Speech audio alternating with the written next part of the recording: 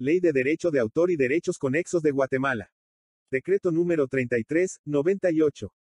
El Congreso de la República de Guatemala considerando que la Constitución Política de la República reconoce y protege el derecho de autor como un derecho inherente a la persona humana, garantizando a sus titulares el goce de la propiedad exclusiva de su obra, de conformidad con la ley y los tratados internacionales de los cuales la República de Guatemala es parte, considerando que la República de Guatemala, como parte de la Convención Internacional sobre la Protección de los Artistas Intérpretes o Ejecutantes, los productores de fonogramas y los organismos de radiodifusión, adoptada en Roma el 26 de octubre de 1961, y el Convenio para la Protección de los Productores de Fonogramas contra la reproducción no autorizada de sus fonogramas, adoptado en Ginebra el 29 de octubre de 1971, debe promover, por medio de su legislación interna, los mecanismos por medio para tutelar adecuadamente los derechos de los artistas intérpretes o ejecutantes, los productores de fonogramas y los organismos de radiodifusión.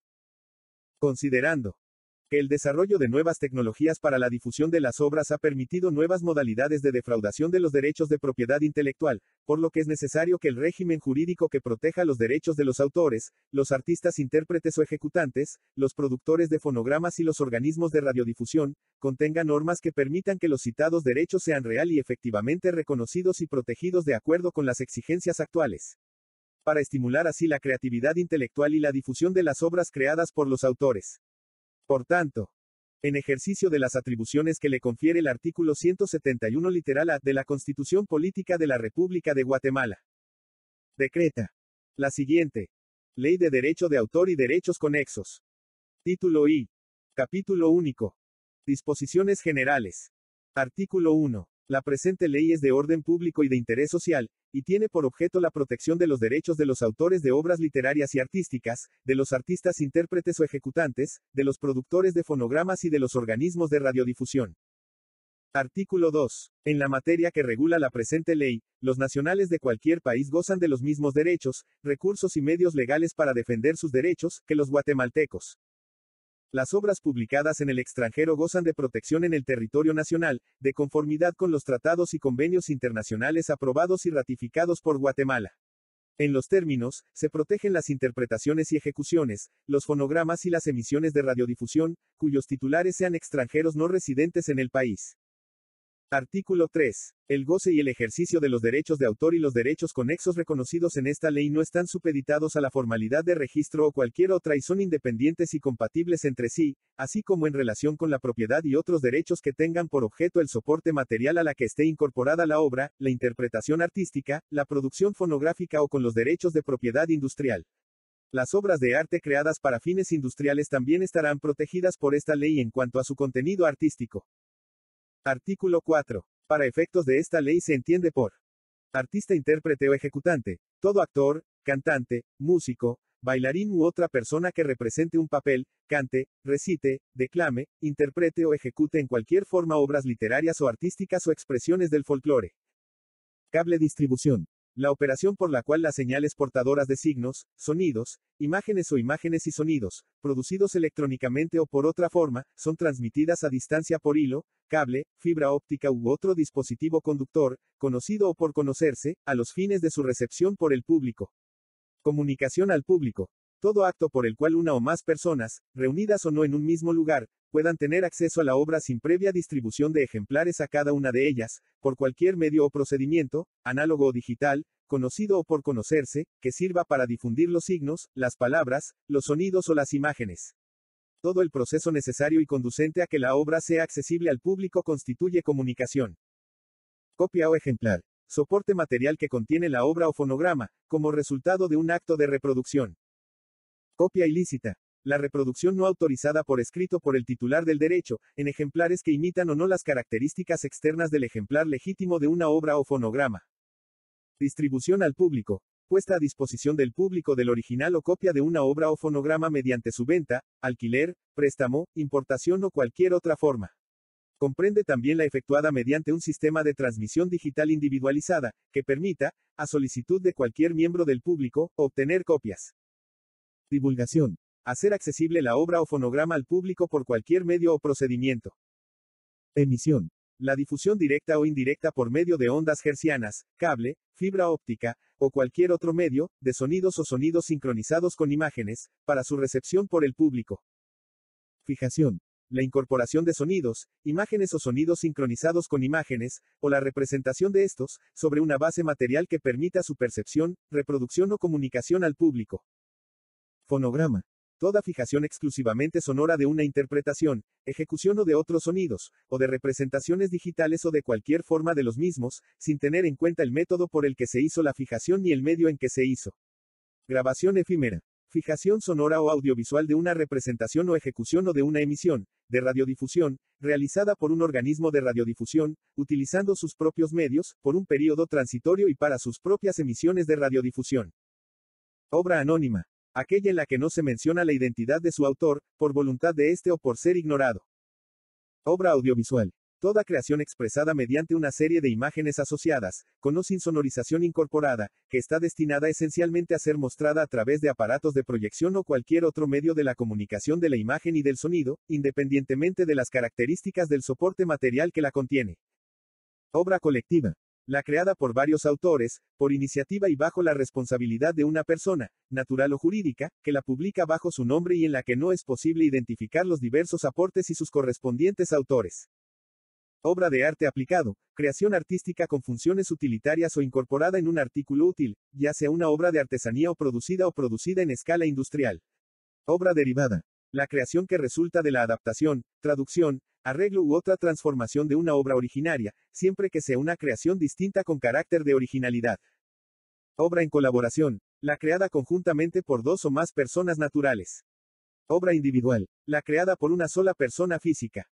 Obra inédita, aquella que no ha sido comunicada al público, con consentimiento del autor, bajo ninguna forma, ni siquiera oral. Obra originaria, la creación primigenia. Obra póstuma, aquella que no ha sido publicada durante la vida de su autor. Obra seudónima, aquella en la que el autor se presenta bajo un seudónimo que no lo identifica. Organismo de radiodifusión, la empresa de radio o televisión que transmite programas al público. Préstamo, puesta a disposición de ejemplares de la obra o de un fonograma, para su uso por tiempo limitado y sin beneficio económico o comercial directo o indirecto, realizada por una persona natural, una institución u organización, cualquiera que sea su forma de constitución legal, cuyos servicios sean accesibles al público o cualquier persona. Productor audiovisual. Empresa o persona que asume la iniciativa, la coordinación y la responsabilidad de la realización de la obra audiovisual. Programa todo conjunto de imágenes, de sonidos, o de imágenes y sonidos, registrados o no, e incorporado a señales destinadas finalmente a su comunicación al público. Programa de ordenador. La obra constituida por un conjunto de instrucciones expresadas mediante palabras, códigos, planes o en cualquier otra forma, que al ser incorporadas a un soporte legible por máquina, es capaz de hacer que un ordenador ejecute determinada tarea u obtenga determinado resultado. Público, Conjunto de personas que reunidas o no en el mismo lugar, tienen acceso por cualquier medio, a una obra, interpretación artística o fonograma, sin importar si lo pueden hacer al mismo tiempo o en diferentes momentos o lugares. Publicación. El hecho de poner a disposición del público, con la autorización del titular del derecho, copias de una obra o de un fonograma. Radiodifusión. La comunicación a distancia de sonidos o de imágenes y sonidos, por ondas electromagnéticas propagadas en el espacio sin guía artificial para su recepción por el público, inclusive la transmisión por satélite. Reproducción. La realización por cualquier medio, de uno o más ejemplares de una obra o fonograma, sea total o parcial, permanente o temporal, en cualquier tipo de soporte. Retransmisión. La transmisión simultánea o posterior, por medios inalámbricos o mediante hilo, fibra óptica u otro procedimiento análogo o digital, conocido o por conocerse, de una emisión originada por un organismo de radiodifusión o de cable distribución. Satélite. Todo dispositivo situado en el espacio extraterrestre, apto para recibir y transmitir o retransmitir señales. Señal. Todo vector producido electrónicamente y apto para transportar programas. Sociedad de gestión colectiva. Toda asociación civil sin finalidad lucrativa, debidamente inscrita, que ha obtenido por parte del registro de la propiedad intelectual autorización para actuar como sociedad de gestión colectiva de conformidad con lo establecido en esta ley.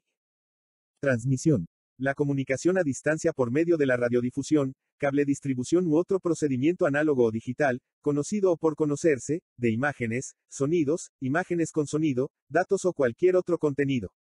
Usos honrados, los que no interfieren con la explotación normal de la obra ni causan perjuicio a los intereses legítimos del autor.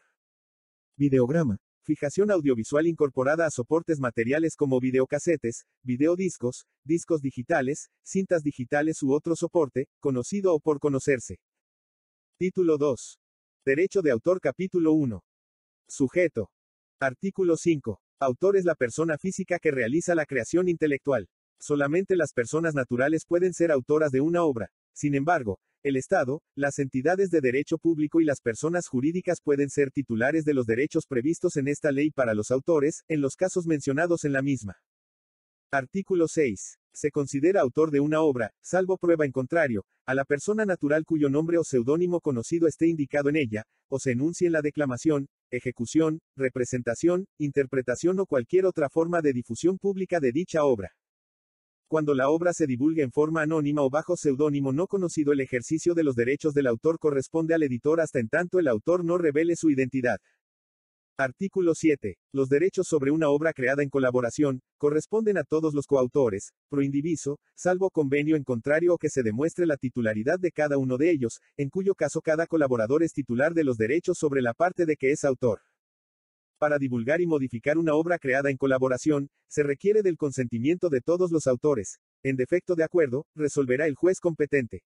Divulgada la obra, ningún coautor puede rehusar injustificadamente su consentimiento para su explotación, en la forma en que se divulgó. Artículo 8. En la obra audiovisual, el autor es el director de la misma. Sin embargo, se presume, salvo prueba en contrario, que los derechos pecuniarios sobre la obra han sido cedidos a favor del productor en la forma que establece el artículo 27 de esta ley. Artículo 9. Cuando se trate de obras colectivas, se presume, salvo pacto en contrario, que los autores han cedido en forma ilimitada y exclusiva la titularidad de los derechos patrimoniales a la persona natural o jurídica que los publique con su propio nombre, quien queda igualmente facultada para ejercer los derechos morales sobre la obra. Artículo 10. En las obras creadas para una persona natural o jurídica, por encargo, en cumplimiento de una relación laboral o en ejercicio de una función pública, el titular originario de los derechos morales y patrimoniales es la persona natural que ha creado la obra o ha participado en su creación. Sin embargo, se presume, salvo prueba en contrario, que los derechos pecuniarios sobre la obra han sido cedidos en favor de quien encarga la obra o del patrono, según el caso, en los términos y con los límites previstos en el artículo 75 de esta ley, lo que implica además la autorización para el concesionario de divulgarla y ejercer los derechos morales necesarios para la explotación de la obra, siempre que no cause perjuicio a la integridad de la misma o a la paternidad del autor. En caso de conflicto entre las disposiciones de esta ley y las del Código de Trabajo, prevalecerá la primera cuando el conflicto se derive o relacione con el derecho de autor. Artículo 11. En los programas de ordenador se presume, salvo pacto en contrario, que los autores de la obra han cedido sus derechos patrimoniales al productor, en forma ilimitada y exclusiva, lo que implica la autorización para divulgar la obra y ejercer la defensa de los derechos morales en la medida en que ello sea necesario para la explotación del programa de ordenador. Se presume, salvo prueba en contrario, que es productor del programa de ordenador la persona natural o jurídica que aparezca indicada como tal en el mismo. Artículo 11 bis. Cuando un trabajador que no estuviese obligado por su contrato de trabajo a ejercer una actividad que tenga por objeto producir programas de ordenador, produjere un programa de ordenador relacionado con el campo de actividades de su patrono, o mediante la utilización de datos o medios a los que tuviere acceso por razón de su empleo, deberá comunicar inmediatamente este hecho a su patrono por escrito y, a pedido de éste, le proporcionará por escrito la información necesaria sobre la utilidad de su creación. Si dentro de un plazo de un mes contado a partir de la fecha en la que hubiese entregado dicha comunicación, o de que hubiese tomado conocimiento por cualquier otro medio de la creación del programa de ordenador, aplicándose el plazo que venciere antes, el patrono notifica por escrito al trabajador su interés por obtener los derechos patrimoniales sobre la obra, tendrá derecho preferente para adquirirlos. En caso que el patrono notificare su interés por la obra, el trabajador tendrá derecho a una remuneración equitativa, o bien a una participación en las ganancias, regalías o rentas producto de la comercialización del programa de ordenador, según se establezca contractualmente entre las partes. En defecto de acuerdo entre las partes, la remuneración será fijada por un juez, por el procedimiento que establece el Código de Trabajo. Artículo 12. En las obras derivadas, es autor quien, con la autorización del titular, hace la adaptación, traducción o transformación de la obra originaria. En la publicación de la obra derivada debe de figurar el nombre o seudónimo del autor original. Cuando la obra originaria sea de dominio público, el titular de la obra derivada goza de todos los derechos que esta ley otorga sobre su versión, pero no puede oponerse a que otros utilicen la misma obra originaria para producir versiones diferentes. Artículo 13. El derecho a publicar correspondencia privada corresponde a su autor, quien para hacerlo necesita del consentimiento expreso del destinatario, salvo que la publicación no afecte el honor o el interés de este último. El destinatario puede hacer uso de las cartas o correspondencia recibida en defensa de su persona o de sus intereses. Artículo 14. Las expresiones de folclore pertenecen al patrimonio cultural del país y serán objeto de una legislación específica. Capítulo 2. Objeto. Artículo 15. Se consideran obras todas las producciones en el campo literario, científico y artístico, cualesquiera que sea el modo o forma de expresión, siempre que constituyan una creación intelectual original. En particular, las siguientes. A. Las expresadas por escrito, mediante letras, signos o marcas convencionales, incluidos los programas de ordenador. B. Las conferencias, alocuciones, sermones y otras expresadas oralmente. C. Las composiciones musicales, con letra o sin ella. D. Las dramáticas y dramático, musicales. E. Las coreográficas y las pantomimas. F. Las audiovisuales. G. Las de bellas artes como los dibujos, pinturas, esculturas, grabados y litografías. H. Las de arquitectura. I. Las fotográficas y las expresadas por procedimiento análogo a la fotografía. J. Las de arte aplicado. K. Las ilustraciones, mapas, croquis, planos, bosquejos y las obras plásticas relativas a la geografía, la topografía, la arquitectura o las ciencias. La enumeración anterior es ilustrativa y no exhaustiva, por lo que gozan del amparo de esta ley, tanto las obras conocidas como las que sean creadas en el futuro. Artículo 16. También se consideran obras, sin perjuicio de los derechos de autor sobre las obras originarias, en su caso. A. Las traducciones, adaptaciones, arreglos musicales y demás transformaciones de una obra. B. Las antologías, diccionarios, compilaciones, bases de datos y similares, cuando la selección o disposición de las materias constituyan una creación original. Artículo 17. El título de una obra que se encuentre protegida en los términos de esta ley no podrá ser utilizado por un tercero, a menos que por su carácter genérico o descriptivo en la relación con el contenido de aquellas, constituya una designación necesaria. En el caso de obras concernientes a tradiciones o leyendas, no podrá invocarse esta protección. Nadie podrá utilizar el título de una obra ajena como medio destinado a producir confusión en el público o para aprovecharse indebidamente del éxito o reputación literaria o comercial de su autor. Capítulo 3 Contenido. Artículo 18. En el derecho de autor comprende los derechos morales y patrimoniales, que protegen la paternidad, la integridad y el aprovechamiento de la obra. Artículo 19. El derecho moral del autor es inalienable, imprescriptible e irrenunciable. Comprende las facultades para a. Reivindicar en todo tiempo la paternidad de la obra, en especial, exigir la mención de su nombre o seudónimo, como autor de la obra, en todas las reproducciones y utilizaciones de ella. B. Oponerse a cualquier deformación, mutilación u otra modificación de la obra, sin su previo y expreso consentimiento o a cualquier modificación o utilización de la obra que la desmerezca o cause perjuicio a su honor o reputación como autor. C. Conservar su obra inédita o anónima o, disponer por testamento que así se mantenga después de su fallecimiento. El aplazamiento para la divulgación de la obra solo podrá hacerse hasta por 75 años después de su fallecimiento. D. Modificar la obra, antes o después de su publicación.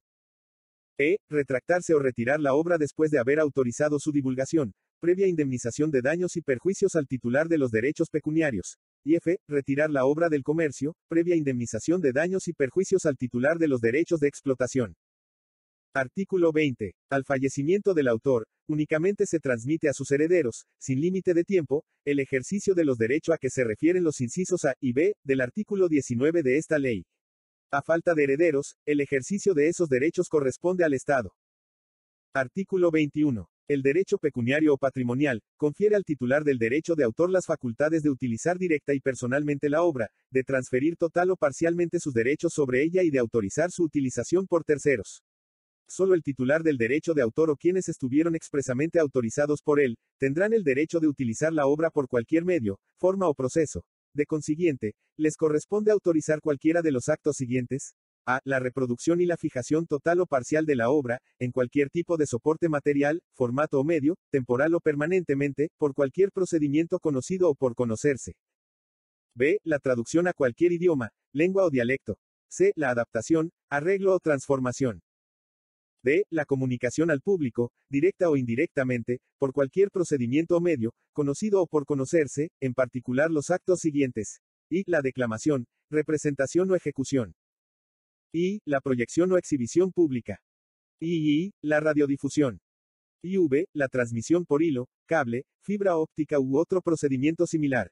V. La retransmisión por cualquiera de los medios citados en los numerales I y V anteriores. B. La difusión de signos, palabras, sonidos y o imágenes, por medio de parlantes, telefonía o aparatos electrónicos semejantes, cable distribución o cualquier otro medio. VI. El acceso público a bases de datos de ordenadores por medio de telecomunicación. Y. VII, la puesta a disposición del público de las obras, de tal forma que los miembros del público puedan acceder a estas obras desde el lugar y en el momento que cada uno de ellos elija. E. La distribución pública del original y copias de su obra, ya sea por medio de la venta, arrendamiento, alquiler, préstamo o cualquier otra forma cuando la distribución debidamente autorizada por el titular del derecho se realice mediante venta, el derecho de controlar las sucesivas ventas se extingue únicamente cuando la primera venta del original o copias de la obra hubiere tenido lugar dentro del territorio guatemalteco, salvo el caso establecido en el artículo 38 de esta ley y cualesquiera otras excepciones legales. No se extinguen por la distribución autorizada mediante venta, los derechos de reproducción, arrendamiento, alquiler, préstamo, modificación, adaptación, arreglo, transformación, traducción, importación ni comunicación al público. F. La de autorizar o prohibir la importación de copias de su obra o de fonogramas legalmente fabricadas, y la de impedir la importación y exportación de copias fabricadas sin su consentimiento. Artículo 22. Las diversas formas de utilización a que se refiere el artículo 21 de esta ley, son independientes entre sí. La autorización para un determinado uso no es aplicable a otros. La cesión de los derechos de explotación sobre sus obras no impide al autor publicarlas, reunidas en colección escogida o completa. Artículo 23. El derecho de autor es inembargable. Podrán embargarse los ejemplares o reproducciones de una obra publicada, así como el producto económico percibido por la explotación de los derechos patrimoniales y los créditos provenientes de esos derechos. Artículo 24. Por el derecho de autor queda protegida exclusivamente la forma mediante la cual las ideas del autor son descritas, explicadas, ilustradas o incorporadas a las obras. No son objeto de protección las ideas contenidas en las obras literarias y artísticas, el contenido ideológico o técnico de las obras científicas, ni su aprovechamiento industrial o comercial. Los descubrimientos, los conocimientos y las enseñanzas, así como los métodos de investigación no están protegidos por el derecho de autor. Artículo 25. Las obras protegidas por el derecho de autor que aparezcan en publicaciones o emisiones periódicas, no pierden por este hecho su protección legal. La protección de la ley no se aplicará al contenido informativo de las noticias periodísticas de actualidad publicadas por cualquier medio de difusión, pero sí al texto y a las representaciones gráficas de las mismas. Capítulo 4. Disposiciones especiales para ciertas categorías de obras. Sección primera Obras audiovisuales. Artículo 26. Se presume productor de una obra audiovisual, salvo prueba en contrario, la persona natural o jurídica cuyo nombre aparezca indicada como tal en la misma. Artículo 27. Por el contrato de producción de la obra audiovisual, se presumen cedidos al productor en forma limitada y exclusiva, los derechos patrimoniales de la misma. Igualmente se presume que el productor ha quedado autorizado para decidir sobre la divulgación o no divulgación de la obra, adaptarla conforme a los distintos formatos para su fijación y divulgación, y ejercer la defensa de los derechos morales sobre la obra audiovisual. Artículo 28. El productor de la obra audiovisual, al exhibirla en público, debe mencionar, además de su nombre y el del director, el del autor del guion o argumento, el del autor de la obra sobre la que se inspiró la obra audiovisual y el de los autores de las composiciones musicales incorporadas en la obra audiovisual. Artículo 29. Si uno de los autores, por cualquier razón, no puede completar su contribución, no podrá oponerse a que se utilice la parte ya realizada ni a que se designe a un tercero para concluir la obra. En este caso, tendrá la calidad de autor respecto a la parte que realizó y gozará de los derechos que de ella se deriven. Sección segunda. Programas de ordenador y bases de datos. Artículo 30. Los programas de ordenador se protegen en los mismos términos que las obras literarias.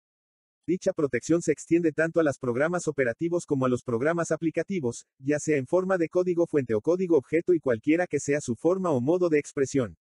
La documentación técnica y los manuales de uso de un programa gozan de la misma protección prevista para los programas de ordenador. Artículo 31. El derecho de arrendamiento incluido en la literal E del artículo 21 de la presente ley, no es aplicable a los arrendamientos cuyo objeto esencial no sea el del programa de ordenador en sí. La colocación en el mercado del original o copias autorizadas de un programa de ordenador, con el consentimiento del titular de los derechos, no extingue el derecho de autorizar el arrendamiento o préstamo de dichos ejemplares, ni cualesquiera otros establecidos en el artículo 21 de esta ley. Artículo 32. La reproducción de un programa de ordenador, incluso para uso personal, exigirá la autorización del titular de los derechos, con excepción de la copia que se haga con el fin exclusivo de sustituir la copia legítimamente adquirida, cuando ésta ya no pueda utilizarse por daño o pérdida. Sin embargo, ambas copias no podrán utilizarse simultáneamente. Artículo 33. Es lícita la introducción de un programa en la memoria interna del ordenador que sirva únicamente para efectos de la utilización del programa por parte del usuario. No es lícito el aprovechamiento del programa por varias personas mediante la instalación de redes, estaciones de trabajo u otro procedimiento análogo, sin el consentimiento del titular de los derechos. Artículo 34. Los autores o titulares de un programa de ordenador podrán autorizar las modificaciones necesarias para la correcta utilización de los programas. No constituye modificación la adaptación de un programa realizada por el usuario, para su uso exclusivo, cuando la modificación sea necesaria para la utilización de ese programa o para un mejor aprovechamiento de este. Artículo 35. Las compilaciones o bases de datos sean que fueren legibles en máquina o en cualquier otra forma, se consideran como colecciones de obras para efectos de su protección de conformidad con esta ley.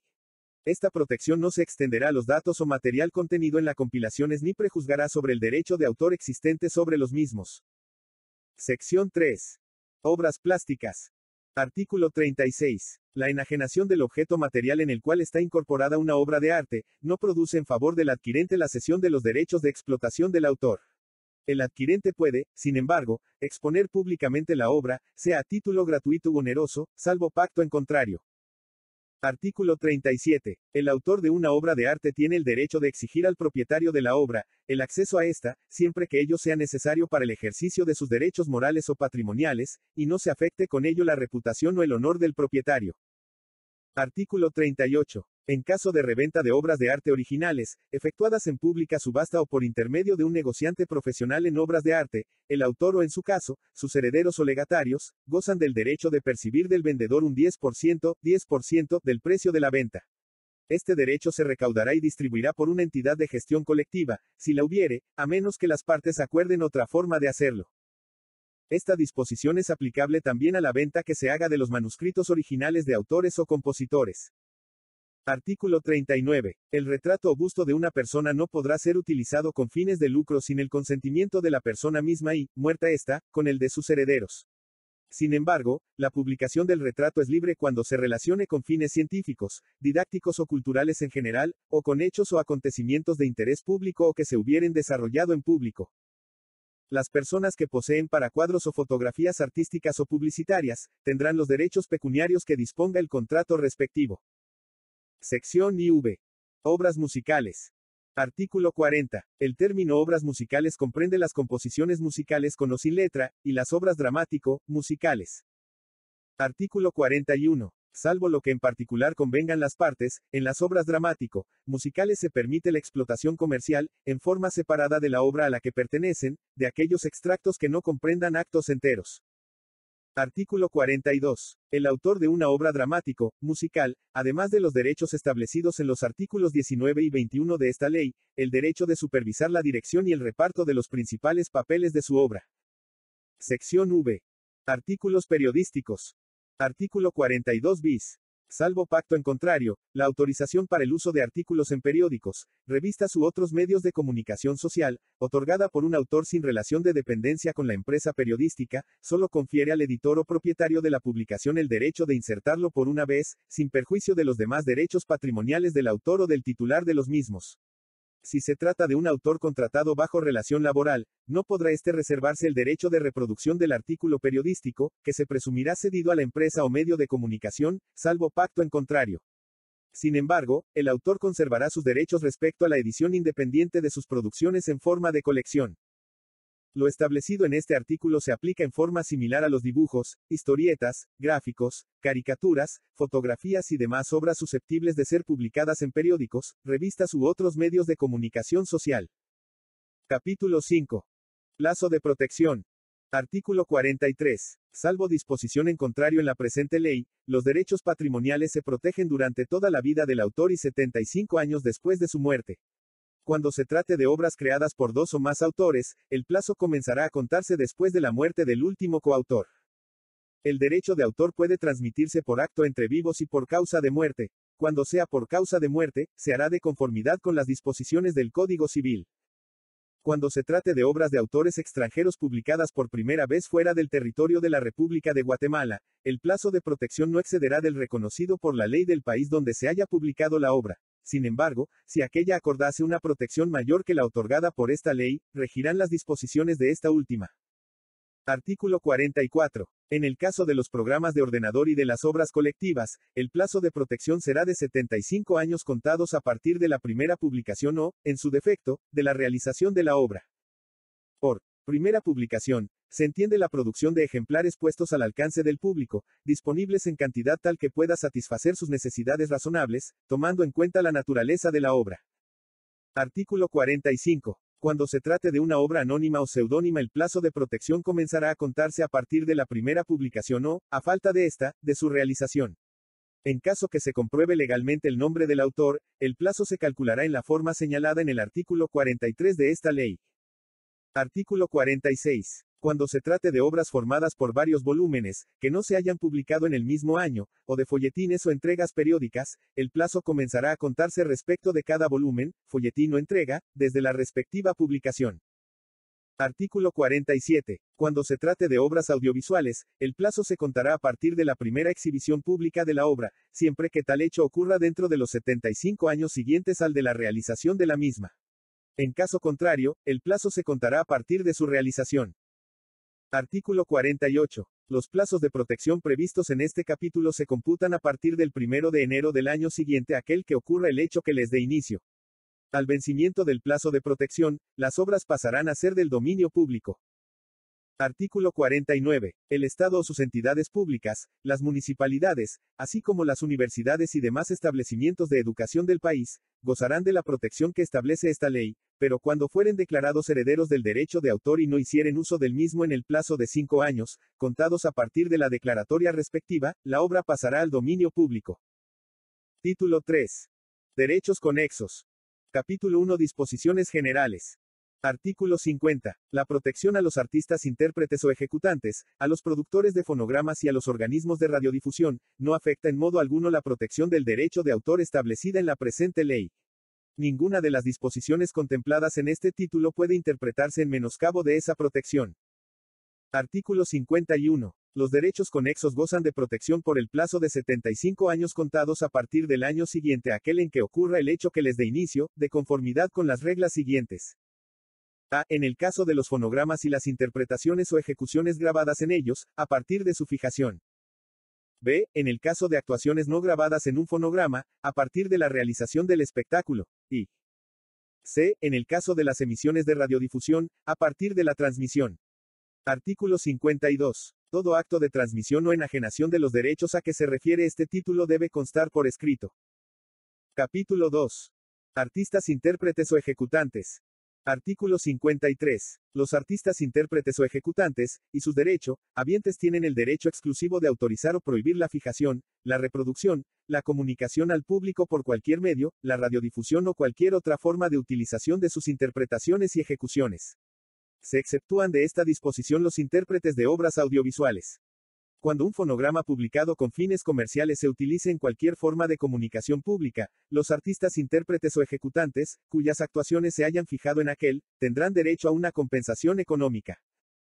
Artículo 54. Salvo estipulación en contrario, se entiende que a. La autorización para la radiodifusión no implica la autorización para permitir a otros organismos de radiodifusión que retransmitan la interpretación o ejecución. B. La autorización para la radiodifusión no implica la autorización para fijar la interpretación o ejecución. C. La autorización para la radiodifusión y para fijar la interpretación o ejecución, no implica la autorización para reproducir la fijación. Y D. La autorización para fijar la interpretación o ejecución y para reproducir esta fijación, no implica la autorización para transmitir la interpretación o la ejecución a partir de la fijación de sus reproducciones. Artículo 55. Cuando varios artistas, intérpretes o ejecutantes participen en una misma ejecución, la autorización será dada por el director del grupo y en ausencia del mismo, por la mayoría de sus integrantes. Artículo 56. Para el ejercicio de los derechos reconocidos en la presente ley, las orquestas y los grupos vocales o instrumentales serán representados por el director del conjunto o por un mandatario legalmente constituido. Artículo 57. Los artistas intérpretes tienen además, el derecho personal, irrenunciable, inalienable y perpetuo de vincular su nombre o seudónimo artístico a su interpretación y de oponerse a la deformación o mutilación de la misma. Al fallecimiento del artista se aplicará, en lo que corresponda, lo que dispone el artículo 20 de esta ley. Capítulo 3. Productores de fonogramas. Artículo 58. Los productores de fonogramas tienen el derecho exclusivo de autorizar o prohibir la reproducción, directa o indirecta, la distribución y comunicación al público o cualquiera otra forma o medio de utilización de sus fonogramas o de sus reproducciones y la puesta a disposición del público de los fonogramas, por cualquier medio, de tal manera que los miembros del público puedan tener acceso a ellos, desde el lugar y en el momento que cada uno de ellos elija. El derecho de distribución comprende la facultad de autorizar la distribución de los fonogramas, ya sea por medio de la venta, el arrendamiento o cualquier otra forma. Cuando la distribución se efectúe mediante la venta, este derecho se extingue a partir de la primera venta realizada, salvo las excepciones legales. Cuando la distribución se efectúe mediante el arrendamiento, la colocación en el mercado del original o copias autorizadas del fonograma no extingue el mismo. El derecho de importación comprende la facultad de autorizar o prohibir la importación de copias de fonogramas legalmente fabricados y la de impedir la importación de copias fabricadas sin la autorización del titular del derecho. Artículo 59. Quien ejecute o haga ejecutar públicamente en cualquier forma un fonograma publicado para fines comerciales, deberá obtener autorización previa y escrita de su productor y pagarle a éste una remuneración. Artículo 60. El productor o su representante recaudará la suma debida por los usuarios de ejecución pública de fonogramas y las repartirá con los artistas, en las proporciones contractualmente convenidas con ellos. En defecto del contrato, la mitad de la suma recibida por el productor, deducidos los gastos de recaudación y administración, será pagada por este a los artistas intérpretes o ejecutantes, quienes de no haber celebrado convenio especial, la dividirán entre ellos, de la siguiente forma. A. El 50% se abonará al intérprete, entendiéndose por tal el cantante o conjunto vocal y otro artista que figure en primer plano de la etiqueta del fonograma. B. El 50% será abonado a los músicos acompañantes y miembros del coro, que participaron en la fijación, dividido en partes iguales entre todos ellos. Si estos no se presentaren a reclamar esas sumas, en un plazo de 12 meses, el productor deberá entregarlas a la asociación de la categoría profesional correspondiente, quienes las deberán destinar exclusivamente para fines asistenciales de sus miembros. Artículo 61. En los casos de infracción a los derechos reconocidos en este capítulo, corresponde el ejercicio de las acciones procedentes tanto al productor fonográfico como al sesionario de los mismos. Capítulo 4. Organismos de radiodifusión. Artículo 62. Los organismos de radiodifusión gozan del derecho exclusivo de autorizar o prohibir a la fijación de sus emisiones sobre una base física o soporte material, incluso la fijación de alguna imagen o sonidos o imagen y sonidos aislados, difundidos en la emisión o transmisión.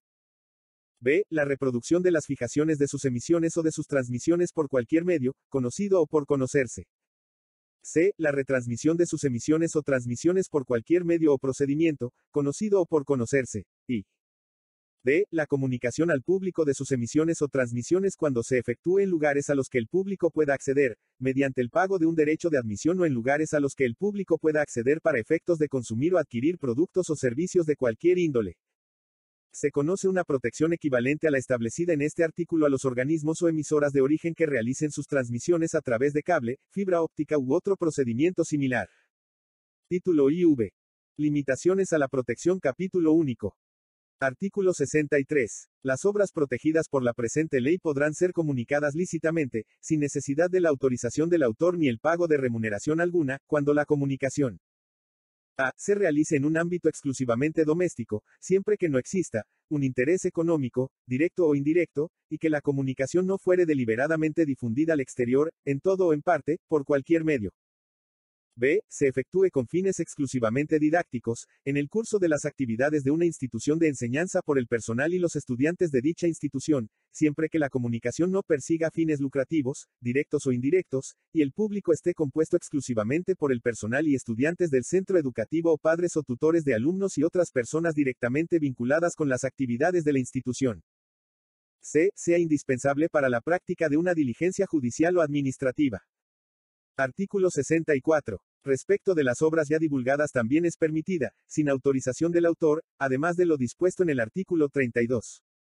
A. La reproducción por medios reprográficos, de artículos o breves extractos de obras lícitamente publicadas, para la enseñanza o la realización de exámenes en instituciones educativas, siempre que no haya fines de lucro y que tal utilización no interfiera con la explotación normal de la obra ni cause perjuicio a los intereses legítimos del autor.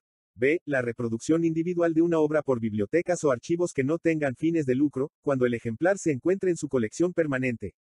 Con el objeto de preservar dicho ejemplar y sustituirlo en caso de necesidad, o bien para sustituir un ejemplar similar, en la colección permanente de otra biblioteca o archivo, cuando éste se haya extraviado, destruido o inutilizado, siempre que no resulte posible adquirir el ejemplar en plazo o condiciones razonables. C. La reproducción de una obra para actuaciones judiciales o administrativas y d. La reproducción de una obra de arte expuesta permanentemente en lugares públicos, o de la fachada exterior de los edificios, realizada por medio de un arte distinto al empleado para la elaboración del original, siempre que se indique el nombre del autor, si se conociere, el título de la obra, si lo tuviere, y el lugar donde se encuentra. Artículo 65. Es permitido el préstamo al público del ejemplar lícito de una obra expresada por escrito, por una biblioteca o archivo cuyas actividades no tengan directa o indirectamente fines de lucro. Artículo 66. Será lícito, sin autorización del titular del derecho y sin pago de remuneración, con obligación de mencionar la fuente y el nombre del autor de la obra utilizada, si están indicados. A. Reproducir y distribuir por la prensa o emitir por radiodifusión o transmisión por cable, las informaciones, noticias y artículos de actualidad en los casos que la reproducción, radiodifusión o transmisión pública no se haya reservado expresamente. B. Reproducir y poner al alcance del público, con ocasión de informaciones relativas a acontecimientos de actualidad, por medio de la fotografía, videogramas, la radiodifusión o transmisión por cable, fragmentos de obras vistas u oídas en el curso de tales acontecimientos. En la medida justificada por el fin de la información, C. Utilizar por cualquier forma de comunicación al público, con fines de información sobre hechos de actualidad, discursos políticos, judiciales, disertaciones, alocuciones, sermones y otras formas similares pronunciadas en público, conservando los autores el derecho exclusivo de publicarlos para otros fines, y D. Incluir en una obra propia, fragmentos de otras ajenas de naturaleza escrita, sonora o audiovisual, así como obras de carácter plástico, fotográfico y otras análogas, siempre que se trate de obras ya divulgadas y su inclusión se realice, a título de cita o para su análisis, con fines docentes o de investigación. Artículo 67. Las conferencias o lecciones dictadas en establecimientos de enseñanza pueden ser anotadas y recogidas libremente pero está prohibida su publicación o reproducción, total o parcial, sin la autorización escrita de quien las pronunció. Artículo 68. La publicación de leyes, decretos, reglamentos, órdenes, acuerdos, resoluciones, las decisiones judiciales y de órganos administrativos, así como las traducciones oficiales de esos textos, podrá efectuarse libremente siempre que se apegue a la publicación oficial. Las traducciones y compilaciones hechas por particulares de los textos mencionados serán protegidas como obras originales. Artículo 69. Es libre la publicación del retrato o fotografía de una persona solo para fines informativos, científicos, culturales, didácticos o cuando se relacione con hechos o acontecimientos de interés público o social, siempre que no sufra menoscabo el prestigio o reputación de la persona y que tal publicación no vaya en contra de la moral o las buenas costumbres. Artículo 70. Es lícita la ejecución de fonogramas y la recepción de transmisiones de radio o televisión, que se realicen, para fines demostrativos de clientela, dentro de establecimientos de comercio que expongan y vendan equipos receptores, reproductores y otros similares o, soportes sonoros o audiovisuales que contengan las obras utilizadas. Artículo 71. Los organismos de radiodifusión pueden, sin autorización del autor ni pago de una remuneración especial, realizar grabaciones efímeras con sus propios equipos y para la utilización en sus propias emisiones de radiodifusión, de una obra que tengan el derecho de radiodifundir. Sin embargo, el organismo de radiodifusión deberá destruir la grabación en el plazo de seis meses contados a partir de su realización, salvo que se haya convenido con el autor un plazo mayor. La grabación podrá conservarse en archivos oficiales cuando tenga un carácter documental excepcional. Título V. Transferencia de los derechos patrimoniales Capítulo único. Artículo 72. Los derechos patrimoniales pueden transferirse, total o parcialmente, por cualquier título, debiendo constar por escrito. Toda transmisión entre vivos se presume realizada a título oneroso, salvo, pacto expreso en contrario. Artículo 73. La transferencia de los derechos de autor y derechos conexos queda limitada al derecho y los derechos cedidos, a las modalidades de explotación expresamente previstas, al plazo y al ámbito territorial que se determinen. En caso de no mencionarse el plazo, la transferencia es por cinco años. En caso de no establecerse el ámbito territorial, se entiende el país en el que se realice la transferencia y si no se especifican las modalidades de explotación, la cesión queda limitada a aquella que se deduzca necesariamente del propio contrato y sea indispensable para cumplir la finalidad del mismo. Artículo 74. Es nula la cesión de explotación respecto al conjunto de las obras que puede crear el autor en el futuro, así como las disposiciones por las cuales se compromete a no crear obra. La cesión no comprende modos o medio de explotación inexistentes o desconocidos al tiempo de celebrarse. El contrato de cesión debe formalizarse por escrito. Artículo 75. La cesión de los derechos de explotación de la obra creada en virtud de la relación laboral o por encargo, se regirá por lo pactado en el contrato. A falta de pacto escrito, se presumirá que los derechos de explotación han sido cedidos en exclusiva y con el alcance necesario para el ejercicio de la actividad habitual del cesionario en el momento de la entrega de la obra realizada. Artículo 76. La cesión de los derechos patrimoniales confiere al cesionario legitimación para perseguir las violaciones que afecten a las facultades que se le hayan concedido, sin perjuicio del derecho que corresponde al autor. Artículo 77. La transferencia de derechos por parte del cesionario puede hacerse total o parcialmente y no requiere de la autorización del cedente, salvo pacto expreso en contrario. Artículo 78. El que adquiera un derecho de utilización tendrá que cumplir las obligaciones contraídas por el cesionario en virtud de su contrato con el autor. El adquirente responderá ante el autor solidariamente con el transmitente por las obligaciones contraídas por aquel en el respectivo contrato, así como por la compensación por daños y perjuicios que éste pueda causarle por incumplimiento de alguna de dichas obligaciones contractuales. Artículo 79. La remuneración del autor podrá pactarse proporcional a los ingresos que obtenga el cesionario por la explotación de su obra o por una cantidad fija.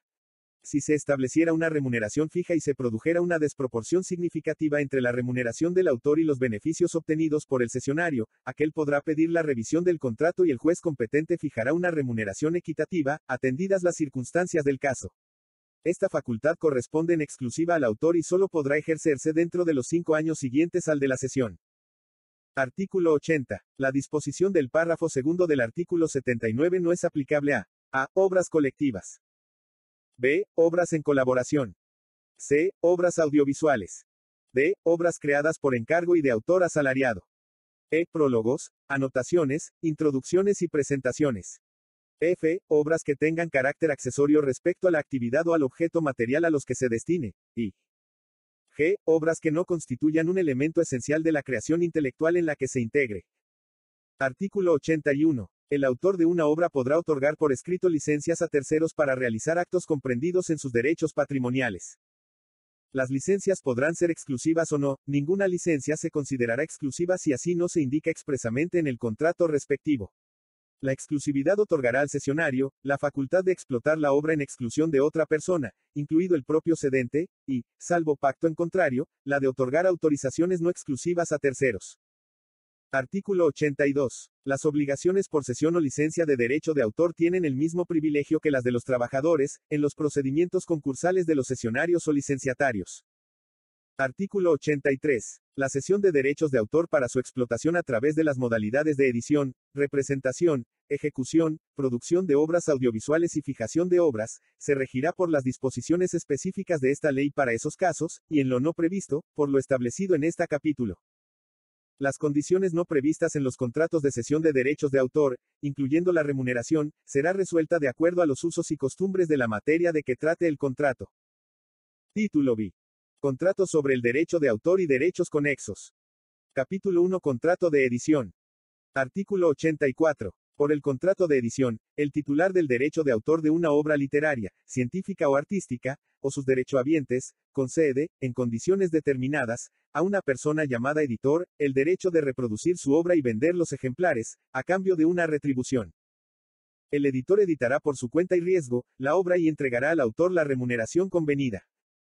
Artículo 85. El contrato de edición de una obra no implica la enajenación de los derechos patrimoniales del autor de la misma.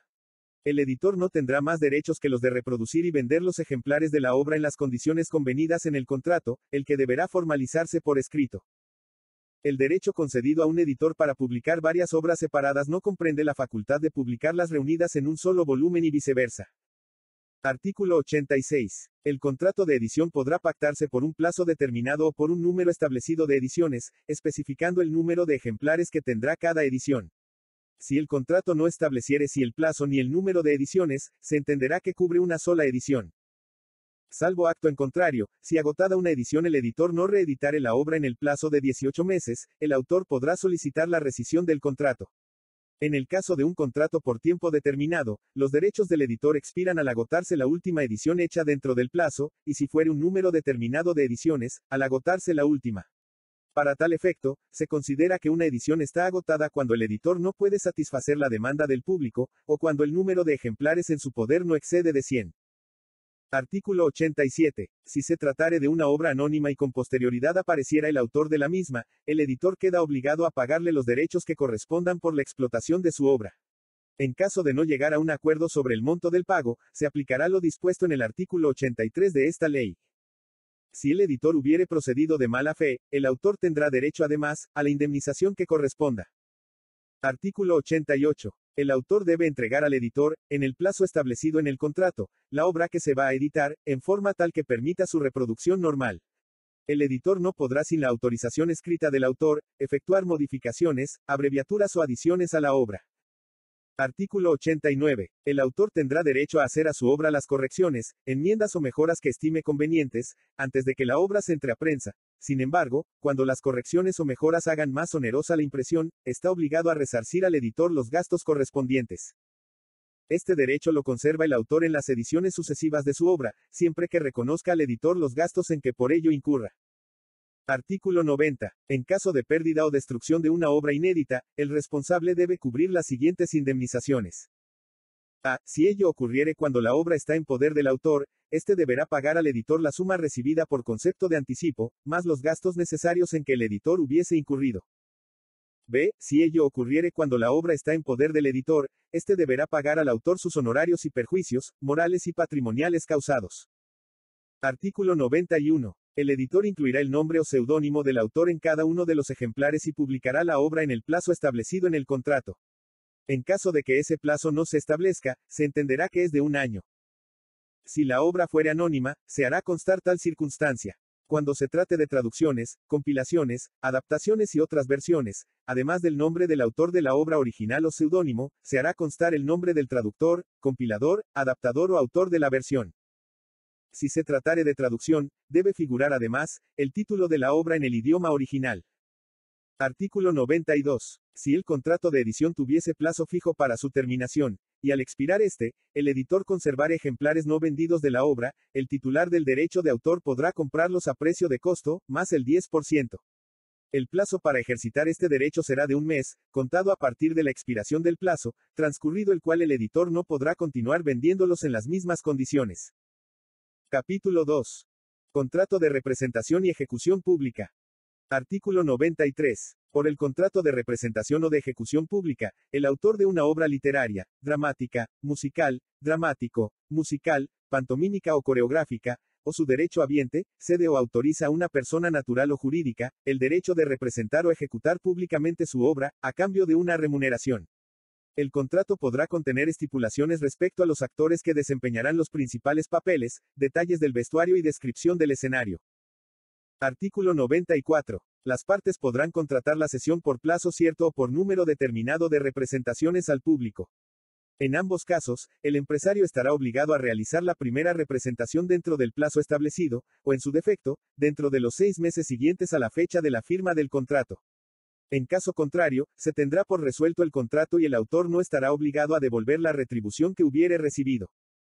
Artículo 95. En ausencia de estipulaciones contractuales, el empresario adquiere la concesión exclusiva para la representación de la obra durante seis meses contados a partir de su estreno. El autor de la obra no puede hacerla representar por un tercero, mientras el empresario que la aceptó primero no haya terminado el número de representaciones convenidas, salvo si su contrato fuere sin exclusividad. Artículo 96. El empresario está obligado a a. Representar la obra en las condiciones indicadas en el contrato, sin introducir modificaciones no consentidas por el autor y a anunciarla al público con su título, nombre del autor y, en su caso, nombre del traductor o adaptador. B. Permitir que el autor supervise la representación de la obra. Y C. Mantener los intérpretes principales o los directores de la orquesta y coro, si estos fueron elegidos de acuerdo con el autor. Artículo 97. La participación del autor en los ingresos de la taquilla tiene la calidad de un depósito en poder del empresario, a disposición del autor, y no será afectada por ningún embargo dictado en contra de los bienes del empresario. Si el empresario, al ser requerido por el autor, no le entregare la participación que mantiene en depósito, la autoridad judicial competente, a solicitud del interesado, ordenará la suspensión de las representaciones de la obra o la retención del producto de las entradas, sin perjuicio del derecho del autor para dar por terminado el contrato e iniciar las acciones a que hubiere lugar. Artículo 98. Sin la autorización del titular del derecho de autor o conexo, no podrá transmitirse por radio, televisión, servicios de parlante u otros medios electrónicos semejantes, o ejecutarse en audiciones o espectáculos públicos, cualesquiera composiciones musicales, con o sin letra, debiendo el usuario pagar la retribución económica correspondiente. El propietario, socio, gerente, director o responsable de las actividades de los establecimientos responderá solidariamente con el organizador del espectáculo por las violaciones a los derechos respectivos que se realicen en dichos locales. En los espectáculos públicos con intervención en vivo del intérprete, las empresas y personas responsables de su organización y las autoridades públicas competentes, están obligadas a prohibir al público asistente a la grabación del espectáculo, por cualquier medio, sin la autorización escrita del autor, artista, intérprete y productor fonográfico o videográfico que corresponda. Artículo 99. La persona que tenga a su cargo la dirección de las entidades o establecimientos, en donde se realicen actos de ejecución pública de obras musicales, está obligada a a. Anotar diariamente, el título de cada obra musical ejecutada, el nombre del autor y compositor de la misma, de los artistas o intérpretes que intervienen, el director del grupo u orquesta, en su caso, y el nombre del productor fonográfico o videográfico, cuando la ejecución pública se haga a partir de un fonograma o videograma.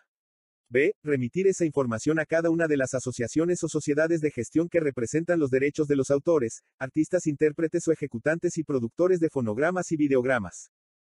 Artículo 100. Las autoridades administrativas encargadas de autorizar espectáculos públicos, no expedirán los permisos correspondientes si el responsable de la representación o ejecución no acredita la autorización de los titulares de los respectivos derechos. Capítulo 3. Contrato de fijación de obra. Artículo 101. Por el contrato de fijación de la obra, el autor autoriza a una persona natural o jurídica, a incluirle en una obra audiovisual o fonograma para su reproducción y distribución, a cambio de una remuneración previamente acordada. Artículo 102. Salvo pacto en contrario, la remuneración del autor estará en proporción al valor de los ejemplares vendidos y será pagada al autor en liquidaciones semestrales, a partir de la fecha inicial de circulación.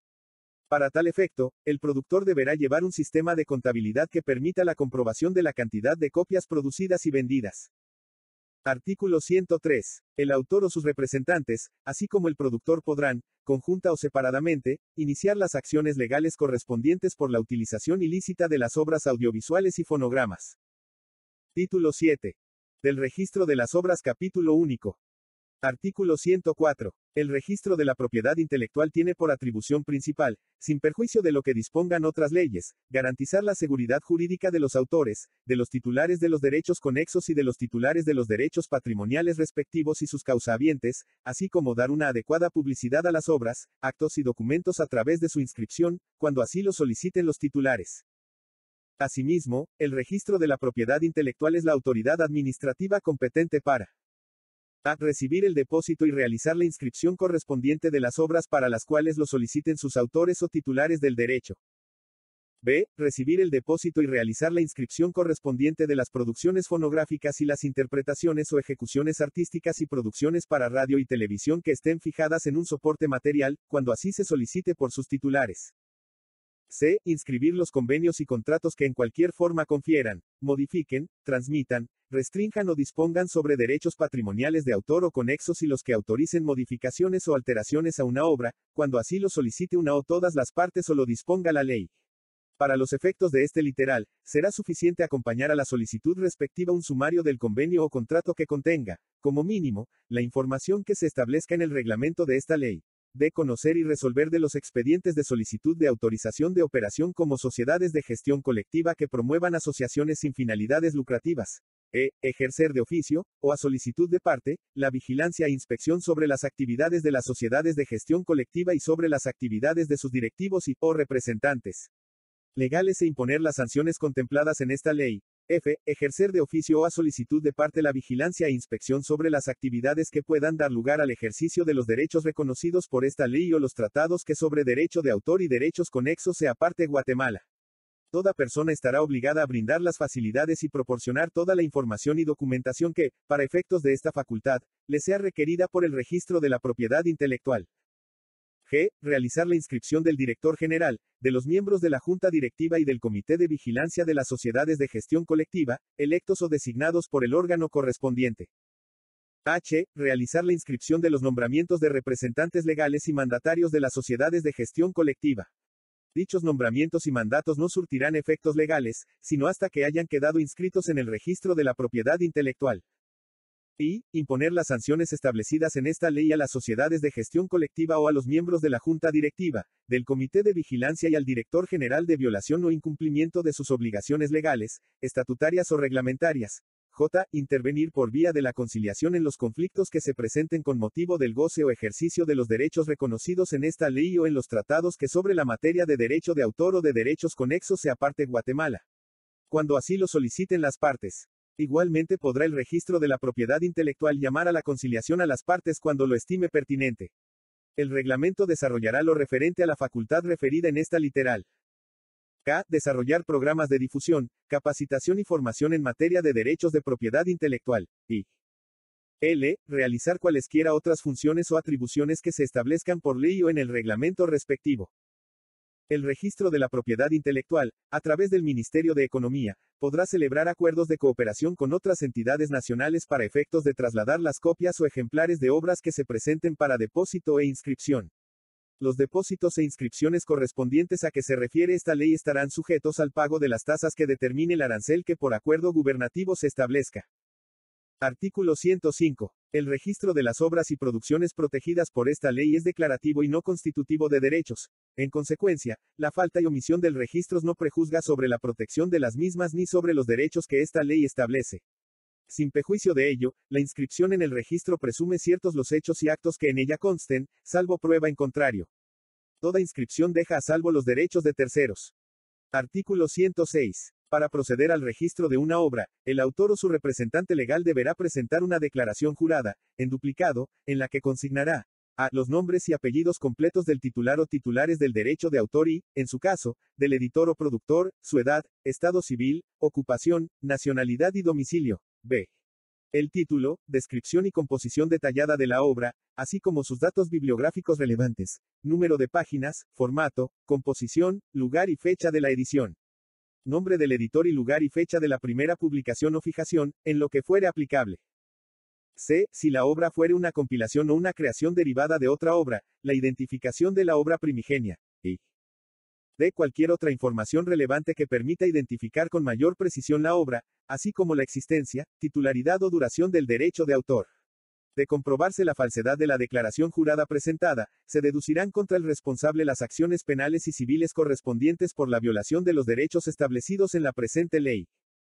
Artículo 107. Cuando se trate de una obra hecha por varios autores, cualquiera de ellos podrá pedir el registro de la obra completa y en el caso que actúen conjuntamente, deberán nombrar un representante común. Cuando dos o más personas soliciten la inscripción de la misma obra, ésta se inscribirá en los términos de la primera solicitud, sin perjuicio del derecho de impugnación del registro. Artículo 108. Junto con la solicitud, el interesado deberá acompañar una copia de la obra y el comprobante que acredite haber hecho el pago a que se refiere el artículo 104 de esta ley. Cuando se trate de obras ya publicadas, la copia que se acompañe será la de la última edición. Cuando se trate de obras plásticas como esculturas, dibujos, grabados, litografías, planos o maquetas, sean o no aplicadas, se acompañarán, en defecto de la misma, fotografías a color de la obra, tomadas en diferentes ángulos. En el caso de obras audiovisuales, los interesados podrán acompañar un ejemplar de la obra o fotografías de las principales escenas, acompañadas de una relación del argumento y en su caso, una copia de la partitura correspondiente. Artículo 109. Para registrar una obra escrita bajo seudónimo, se acompañará a la solicitud, en sobrecerrado, los datos de identificación del autor. El encargado del registro, abrirá el sobre, con asistencia de testigos, cuando lo pida el solicitante del registro, el editor de la obra o sus causahabientes, o por resolución judicial. La apertura del sobre tendrá por objeto comprobar la identidad del autor y su relación con la obra. De lo anterior deberá dejarse constancia en acta. Artículo 110. El registro de la propiedad intelectual podrá, mediante resolución, permitir la sustitución del depósito del ejemplar, en determinados géneros creativos, por el acompañamiento de documentos que permitan identificar suficientemente las características y contenido de la obra o producción objeto de registro. Artículo 111. Las inscripciones y documentos que obren en el registro de la propiedad intelectual son públicos. Sin embargo, tratándose de programas de ordenador, el acceso a los documentos solo se permitirá con autorización del titular del derecho de autor, su causaviente o por mandamiento judicial. Las obras que se presenten como inéditas para efectos de su inscripción en el registro de la propiedad intelectual, solo podrán ser consultadas por el autor o autores de la misma. Artículo 112. En el caso que surja alguna controversia con relación a los derechos protegidos por esta ley, la misma deberá ventilarse ante los tribunales de justicia. En lo que fuere aplicable, las disposiciones relativas al registro de obras se aplicará al registro de las producciones protegidas por los derechos conexos. Título 8. Sociedades de Gestión Colectiva Capítulo Único. Artículo 113. Los titulares de derechos de autor y derechos conexos pueden constituir asociaciones civiles sin fines de lucro para que, una vez obtenida la inscripción respectiva, puedan solicitar su autorización como sociedades de gestión colectiva, para la defensa y la administración de los derechos patrimoniales reconocidos en la presente ley. Estas asociaciones se regirán por las disposiciones generales establecidas en el Código Civil y las especiales contenidas en esta ley y su reglamento, así como lo previsto en sus estatutos y estarán sujetas a la inspección y vigilancia del Estado, a través del registro de la propiedad intelectual. Las asociaciones que soliciten su autorización como sociedades de gestión colectiva, solo podrán tener como fines los previstos en esta ley, sin perjuicio de sus actividades complementarias de carácter cultural y asistencial, y no podrán ejercer ninguna actividad política o religiosa. Artículo 113. Bis. La autorización de una asociación sin fines de lucro para su funcionamiento como una sociedad de gestión colectiva podrá ser otorgada por el registro de la propiedad intelectual cuando se establezca el cumplimiento de los requisitos siguientes. A. Que la asociación se haya constituido y obtenido su personalidad jurídica de conformidad con lo establecido para ese efecto en el artículo 113 de esta ley. B. Que cuente con los recursos humanos, técnicos, financieros y materiales básicos para el cumplimiento de sus fines. Sé que la asociación acredite que se encuentra integrada en su mayoría por miembros guatemaltecos de origen o extranjeros domiciliados en Guatemala, titulares de derechos en un mismo género de obras o producciones. D. Que se reconozca a los miembros de la asociación un derecho de participación apropiado en las decisiones de la entidad, e. Que en las normas de reparto, una vez deducidos los gastos administrativos hasta el porcentaje máximo previsto en los estatutos, y que en todo caso no podrá superar el 30%, garanticen una distribución equitativa entre los titulares de los derechos, en forma proporcional a la utilización real de las obras, interpretaciones o ejecuciones artísticas, o fonogramas, según el caso. F. Que tenga, como mínimo, reglamentos de miembros, de tarifas y de distribución, Que acredite la efectividad de la gestión en el extranjero o del repertorio extranjero en el territorio nacional, mediante elementos que aseguren la celebración de contratos de representación recíproca con asociaciones o sociedades con los mismos fines que funcionen en el extranjero. El registro de la propiedad intelectual hará la valoración pertinente. Y H. Cualquiera otra información que a juicio del registro de la propiedad intelectual sea necesaria. Artículo 114. Para la defensa de los derechos patrimoniales de sus asociados, las sociedades de gestión colectiva se consideran mandatarias de estos por el simple acto de afiliación a las mismas. Artículo 115. Salvo pacto en contrario, son atribuciones de las sociedades de gestión colectiva las siguientes. A. Representar a sus socios ante las autoridades judiciales y administrativas del país, en todos los asuntos de interés general y particular para los mismos, salvo que los socios decidieran ejercer por su parte las acciones que correspondan por la infracción de sus derechos. B. Negociar con los usuarios las condiciones de las autorizaciones para la realización de actos comprendidos en los derechos que administren y la remuneración correspondiente, y otorgar esas autorizaciones. C. Recaudar y distribuir a sus socios las remuneraciones provenientes de los derechos que les corresponden. Para el ejercicio de esta atribución las asociaciones serán consideradas mandatarias de sus asociados por el simple acto de afiliación a las mismas. D. Celebrar convenios con sociedades de gestión colectiva extranjeras de la misma actividad o gestión. E. Representar en el país a las sociedades extranjeras con quienes tengan contrato de representación, ante las autoridades judiciales y administrativas, en todos los asuntos de su interés, estando facultadas para comparecer a juicio en su nombre. F. Velar por la salvaguarda de la tradición intelectual y artística nacional. Y G. Las demás que señale sus estatutos. Artículo 116. Una vez autorizadas las sociedades de gestión colectiva, estarán legitimadas para ejercer los derechos objeto de su gestión y hacerlos valer en toda clase de procedimientos administrativos y judiciales, sin aportar más título y prueba que sus propios estatutos. Salvo prueba en contrario, se presume que la sociedad tiene la representación de los derechos reclamados. Artículo 117. En los estatutos de las sociedades de gestión colectiva se hará constar, a. La denominación de la entidad, B. El objeto o fines, con indicación de los derechos que pueden ser administrados. C. Las clases de titulares de derechos comprendidos en la gestión, y la participación, de cada categoría de titulares, en la dirección o administración de la entidad. D. Las condiciones para la adquisición y pérdida de la calidad de asociado. E. Los derechos de los asociados y representados. F. Las obligaciones de los asociados y representados y el régimen disciplinario a que se encuentran sometidos.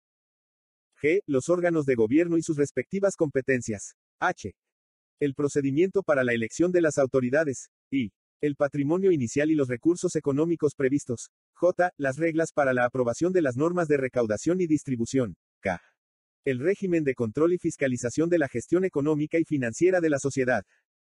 L. La oportunidad de presentación del balance y la memoria de las actividades realizadas anualmente, así como el procedimiento para la verificación del balance y su documentación. Y M. El destino del patrimonio de la sociedad, en caso de disolución. Artículo 118. Las sociedades de gestión colectiva admitirán como socios a los titulares de derechos protegidos por esta ley, que lo soliciten y que acrediten debidamente su calidad de tales. Los estatutos determinarán la forma y condiciones de admisión y retiro de la asociación. Los socios extranjeros cuyos derechos sean administrados por una sociedad de gestión colectiva, directamente o sobre la base de acuerdos con sociedades similares extranjeras, gozarán del mismo trato que los socios que sean nacionales o que tengan su residencia en el país. Las sociedades de gestión colectiva estarán siempre obligadas a aceptar la administración de los derechos de sus asociados. Artículo 119. Los socios no podrán, en ningún caso, ser expulsados. Los estatutos determinarán los casos en que proceda la suspensión de los derechos sociales. Para acordar la suspensión se requiere el 75%, 75% de los votos representados en la sesión de la Asamblea General en la que se tome el acuerdo. La suspensión no implicará privación o retención de derechos económicos y percepciones. Artículo 120. La sociedad tendrá, como mínimo, los siguientes órganos, la Asamblea General, una junta directiva y un comité de vigilancia. La sociedad de gestión colectiva estará obligada a contar con auditoría externa. Tendrá también un director general, el que será nombrado por la Junta Directiva. Quien presida la Junta Directiva y el director general, tendrán la representación legal de la entidad, sin perjuicio de otros cargos que por disposición de los estatutos tengan también la representación legal de la entidad. Toda sociedad de gestión colectiva deberá inscribir en el registro de la propiedad intelectual los reglamentos que emita. La Asamblea General es el órgano supremo de la sociedad y designará a los miembros de los otros órganos. A la Asamblea General le corresponde a. Aprobar o rechazar los estados financieros y memoria anual de la entidad.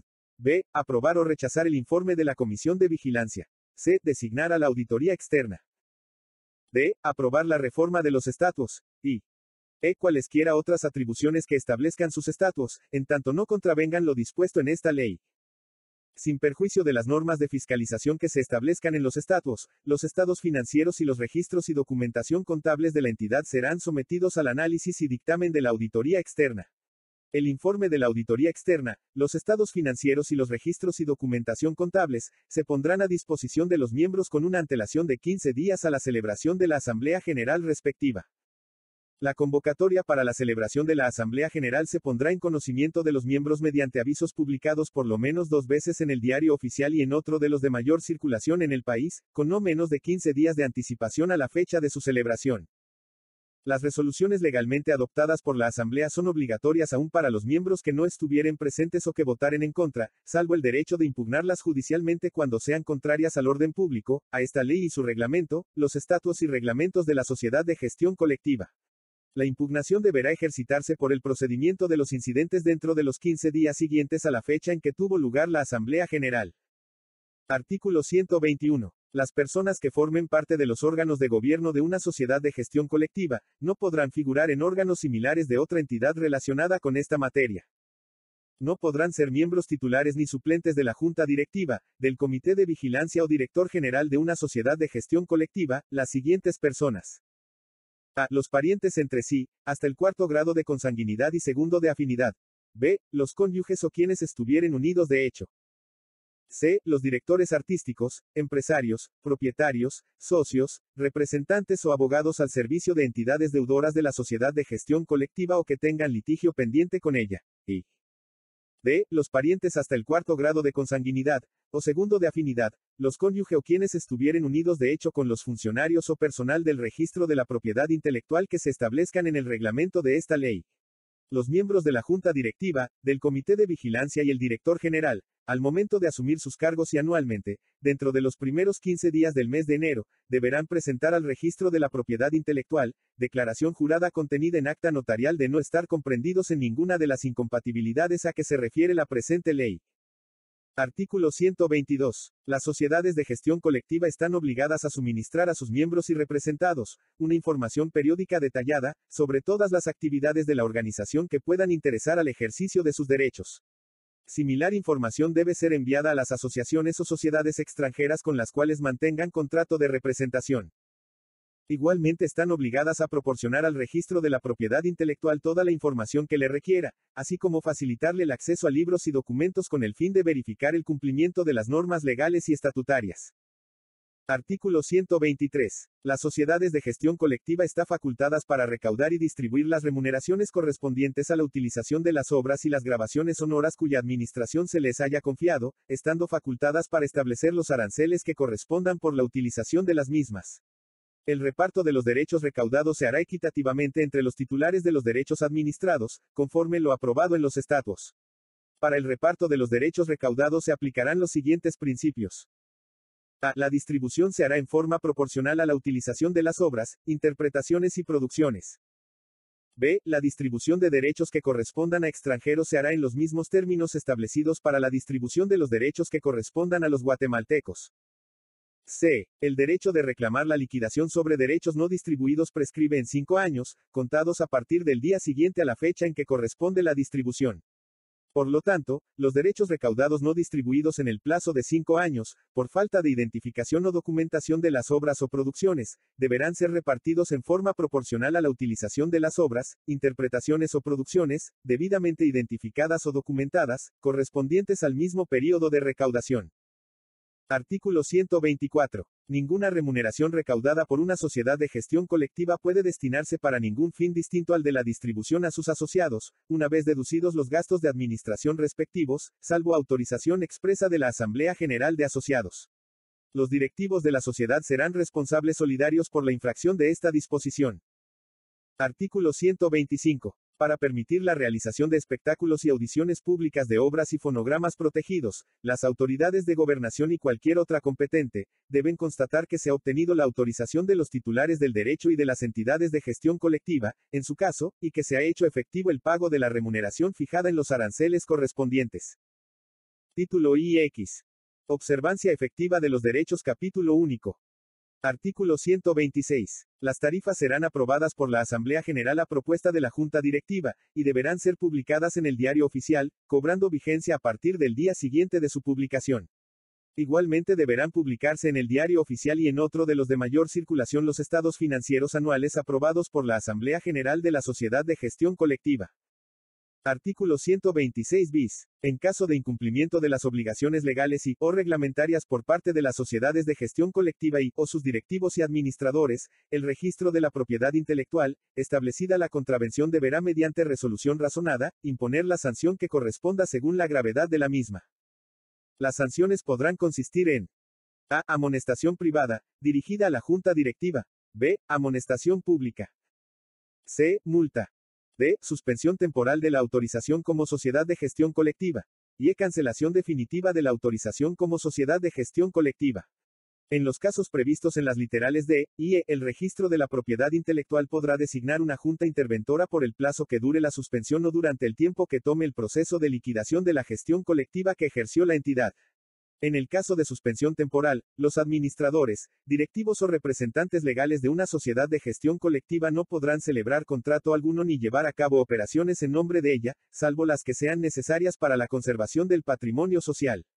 La contravención a la presente norma los hará solidariamente responsables de los daños y perjuicios que ocasionen a la sociedad de gestión colectiva o a terceros. El reglamento de esta ley desarrollará los casos en que proceda cada sanción y lo relativo a la Junta Interventora, cuando proceda su designación.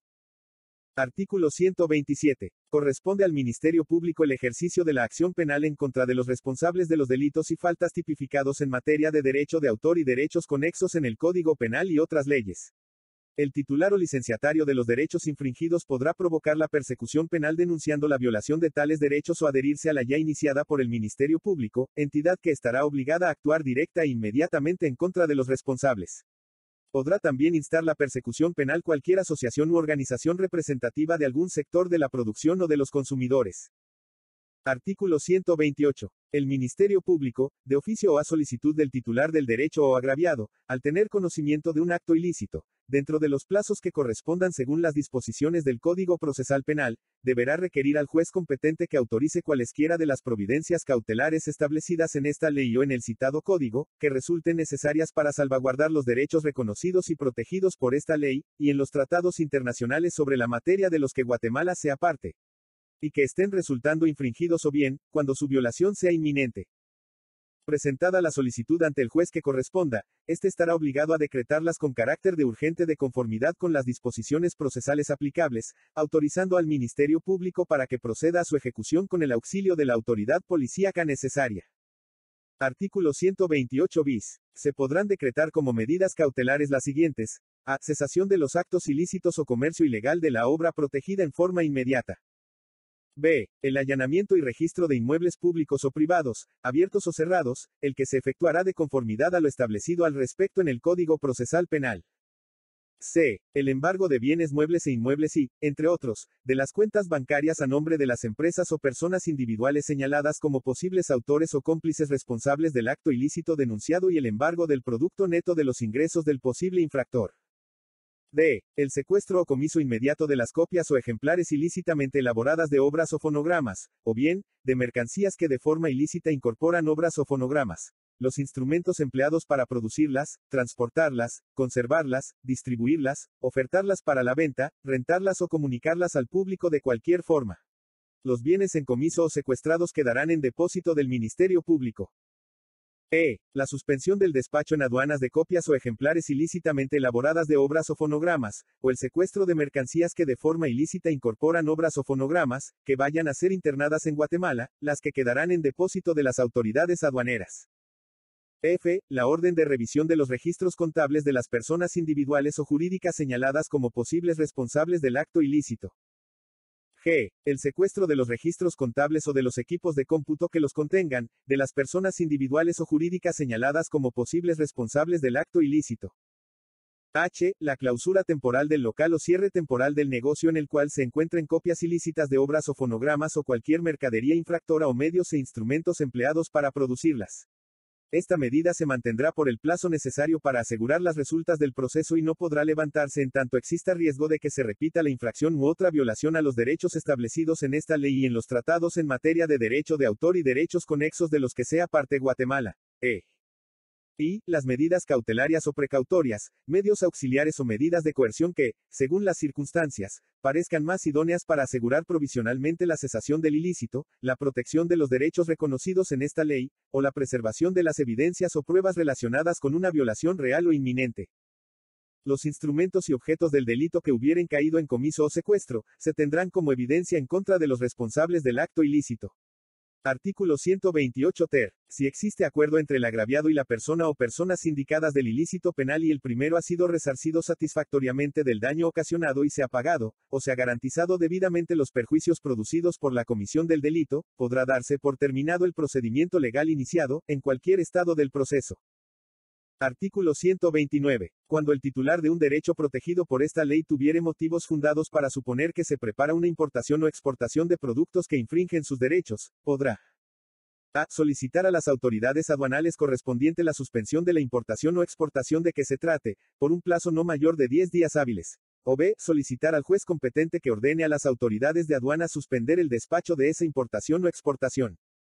Artículo 130. El titular del derecho que solicite las medidas en frontera a que se refiere el artículo 129 de esta ley, deberá proporcionar a las autoridades aduanales o al juez competente, pruebas suficientes que demuestren que existe presunción de infracción o la información necesaria sobre la infracción cometida. Además, una descripción suficientemente precisa de los ejemplares ilícitos de la obra o fonograma protegido para que estos puedan ser reconocidos con facilidad. A la solicitud que se presente serán aplicables las disposiciones y garantías relativas a las medidas precautorias establecidas para los procedimientos civiles. Ejecutada la suspensión de la importación o exportación de las mercancías consideradas infractoras, la autoridad aduanera que la haya dictado lo notificará inmediatamente al importador o exportador de las mismas y al solicitante de la medida. Transcurridos 10 días hábiles contados a partir de la fecha de notificación al solicitante sin haber recibido orden de juez competente para mantenerla vigente, la autoridad aduanera levantará de oficio la suspensión y ordenará el despacho de las mercancías retenidas. El incumplimiento en el levantamiento puntual de la suspensión causará la responsabilidad del funcionario responsable. Artículo 131 a efectos de justificar la prolongación de la suspensión del despacho de las mercancías retenidas por las autoridades aduaneras, o para sustentar una acción de infracción, el juez permitirá al titular del derecho inspeccionar esas mercancías. Igual derecho corresponderá al importador o exportador de las mercancías. Artículo 132. El solicitante de la aplicación de medidas en frontera quedará sujeto al pago de los daños y perjuicios que cause al importador o al exportador en los casos siguientes. A cuando no inicie la acción por la supuesta infracción cometida, dentro de los 10 días siguientes a la notificación de la suspensión de la importación o exportación, y B. Cuando la retención fuere infundada. En los casos señalados en el párrafo anterior, las autoridades judiciales y administrativas que hubieren ordenado la suspensión de la importación o exportación no serán responsables si hubieren procedido de buena fe. Artículo 133. Los procesos civiles que se promuevan para hacer valer derechos reconocidos en esta ley se tramitarán de acuerdo con el procedimiento del juicio oral, establecido en el libro segundo, título 2, capítulos y 2 del Código Procesal Civil y Mercantil. No obstante lo dispuesto en este artículo y cualquier otra disposición contenida en la presente ley que dé lugar a acciones civiles o mercantiles, los interesados también podrán utilizar métodos alternativos de resolución de controversias, tales como la conciliación y el arbitraje. Artículo 133 bis. Quien inicie o pretenda iniciar una acción civil relativa a derecho de autor o derechos conexos, podrá pedir al juez competente que ordene medidas de garantía y providencias de urgencia de eficacia inmediata, con el objeto de proteger sus derechos, impedir o prevenir la comisión de una infracción, evitar sus consecuencias y obtener o conservar pruebas. Si el juez lo considera necesario, en la misma resolución en la que decrete las medidas solicitadas podrá requerir al actor que previamente a su ejecución preste fianza u otra garantía suficiente para proteger a la parte afectada por la medida y a la propia autoridad y asimismo para impedir abusos. El juez deberá ordenar las providencias que prudentemente tiendan a la protección del derecho del actor o peticionario, tales como a. La cesación inmediata de la violación que se alegue por parte del titular del derecho. B. El comiso de los productos infractores, incluyendo los envases, empaques, embalajes, etiquetas, material impreso o de publicidad, equipos, maquinaria y otros materiales resultantes de la infracción no usados para cometerla y de los medios que sirvieran para realizar la infracción. C. La prohibición de la importación de los productos, materiales o medios referidos en el inciso anterior. D. La confiscación y traslado a los depósitos judiciales de los productos, materiales o medios referidos en el inciso B. E. Las medidas necesarias para evitar la continuación o la repetición de la infracción, incluyendo la destrucción de los productos, materiales, equipos o medios referidos en el inciso B, cuando los mismos causen un daño o constituyen un riesgo que atente con la salud o la vida humana, animal o vegetal, o contra el medio ambiente. Y F. La suspensión o cancelación de los registros o licencias sanitarias o de otra naturaleza, que resulten necesarios para la internación, distribución, venta o comercialización de los productos infractores. Artículo 133 ter. El juez deberá ordenar y ejecutar las medidas que le solicitasen dentro del improrrogable plazo de dos días. Cuando las medidas se soliciten previamente a la demanda, el plazo establecido se contará a partir de la presentación de la fianza o garantía requerida. Todas las providencias cautelares se tramitarán y ejecutarán sin notificación, ni intervención de la parte demandada, pero deberán notificarse a esta en el momento de su ejecución o inmediatamente después de ello. Los tribunales tomarán las medidas necesarias para asegurar que la solicitud de medidas cautelares sea mantenida en reserva, de conformidad con lo establecido en el literal E del artículo 133 de esta ley. Si las providencias se ordenan antes de iniciarse la acción, las mismas quedarán sin efecto si quien las obtuvo no presenta la demanda correspondiente dentro de un plazo de 15 días, contando desde la fecha en que se hayan ejecutado las medidas. Artículo 133 Quater. Cuando las medidas cautelares se soliciten con la demanda o con posterioridad a esta, no será necesario constituir garantía alguna. Una vez otorgada o concedida una providencia o medida cautelar que tienda a asegurar las resueltas del proceso en cuanto a la pretensión restauradora en una acción civil, la misma no podrá ser dejada sin efecto mediante una caución o garantía. La caución o garantía solamente podrá ser otorgada para lograr el levantamiento de providencias o medidas cautelares que tiendan a asegurar o proteger una pretensión indemnizatoria propiamente dicha. Artículo 134.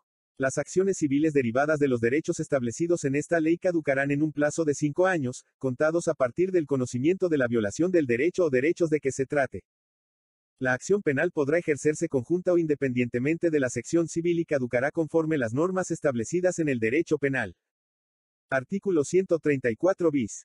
La sentencia que declare con lugar alguna de las acciones previstas en esta ley, además de resolver sobre el fondo del asunto, según el caso y teniendo en cuenta la necesidad de que haya proporción entre la gravedad de la infracción, las medidas ordenadas y los derechos de terceros, deberá, a. ordenar que las mercancías infractoras sean, sin indemnización alguna, apartadas del comercio de forma que se evite causar daños al titular del derecho, o que sean destruidas como objetos de ilícito comercio. Cuando se trate de prendas de vestir de las que pueda eliminarse el elemento violatorio, el juez podrá ordenar una vez haya sido retirado este y si lo estima conveniente, que sean entregadas gratuitamente en obras o actividades de beneficencia social, debiendo quedar constancia escrita de la entrega. B. Disponer que los materiales e instrumentos que se hayan utilizado predominantemente en la producción de las mercancías infractoras, sean apartados del comercio y cuando así se estime conveniente que sean entregadas gratuitamente por el juez a entidades no lucrativas, privadas o públicas, para que puedan utilizarlas exclusivamente en obras o actividades de beneficencia social, sin indemnización alguna para su propietario, debiendo quedar constancia escrita de la entrega. C. Prohibir que las mercancías infractoras ingresen al comercio. D. Disponer que cesen los actos infractores y que se tomen las medidas necesarias para impedir sus consecuencias y para evitar su repetición, así como el resarcimiento de los daños y perjuicios. Título X. Disposiciones transitorias y finales Capítulo único. Artículo 135. Las disposiciones de esta ley se aplicarán a las obras nacionales existentes que no hayan pasado al dominio público por expiración del plazo de protección previsto en el decreto número 1037 del Congreso de la República. En cuanto a la protección de las obras extranjeras existentes, las mismas serán protegidas solo si conforme la ley de su país de origen no han pasado al dominio público por expiración del plazo de protección, aun cuando éste fuere menor al plazo de protección previsto en la legislación guatemalteca. Artículo 136. Derogado. Artículo 137. El Ministerio de Economía transformará el actual registro de la propiedad industrial en el registro de la propiedad intelectual.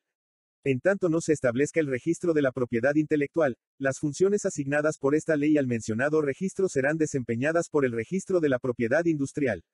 El reglamento a esta ley deberá emitirse en un plazo no mayor de 120 días, contados a partir de la fecha de vigencia del presente decreto. Artículo 137 bis. Dentro de un plazo que no exceda de un año a partir de la vigencia de esta ley, el fiscal general de la República deberá crear y organizar una Fiscalía de Delitos contra la Propiedad Intelectual, la cual tendrá a su cargo el ejercicio de la acción penal pública en el caso de los delitos tipificados en materia de propiedad intelectual.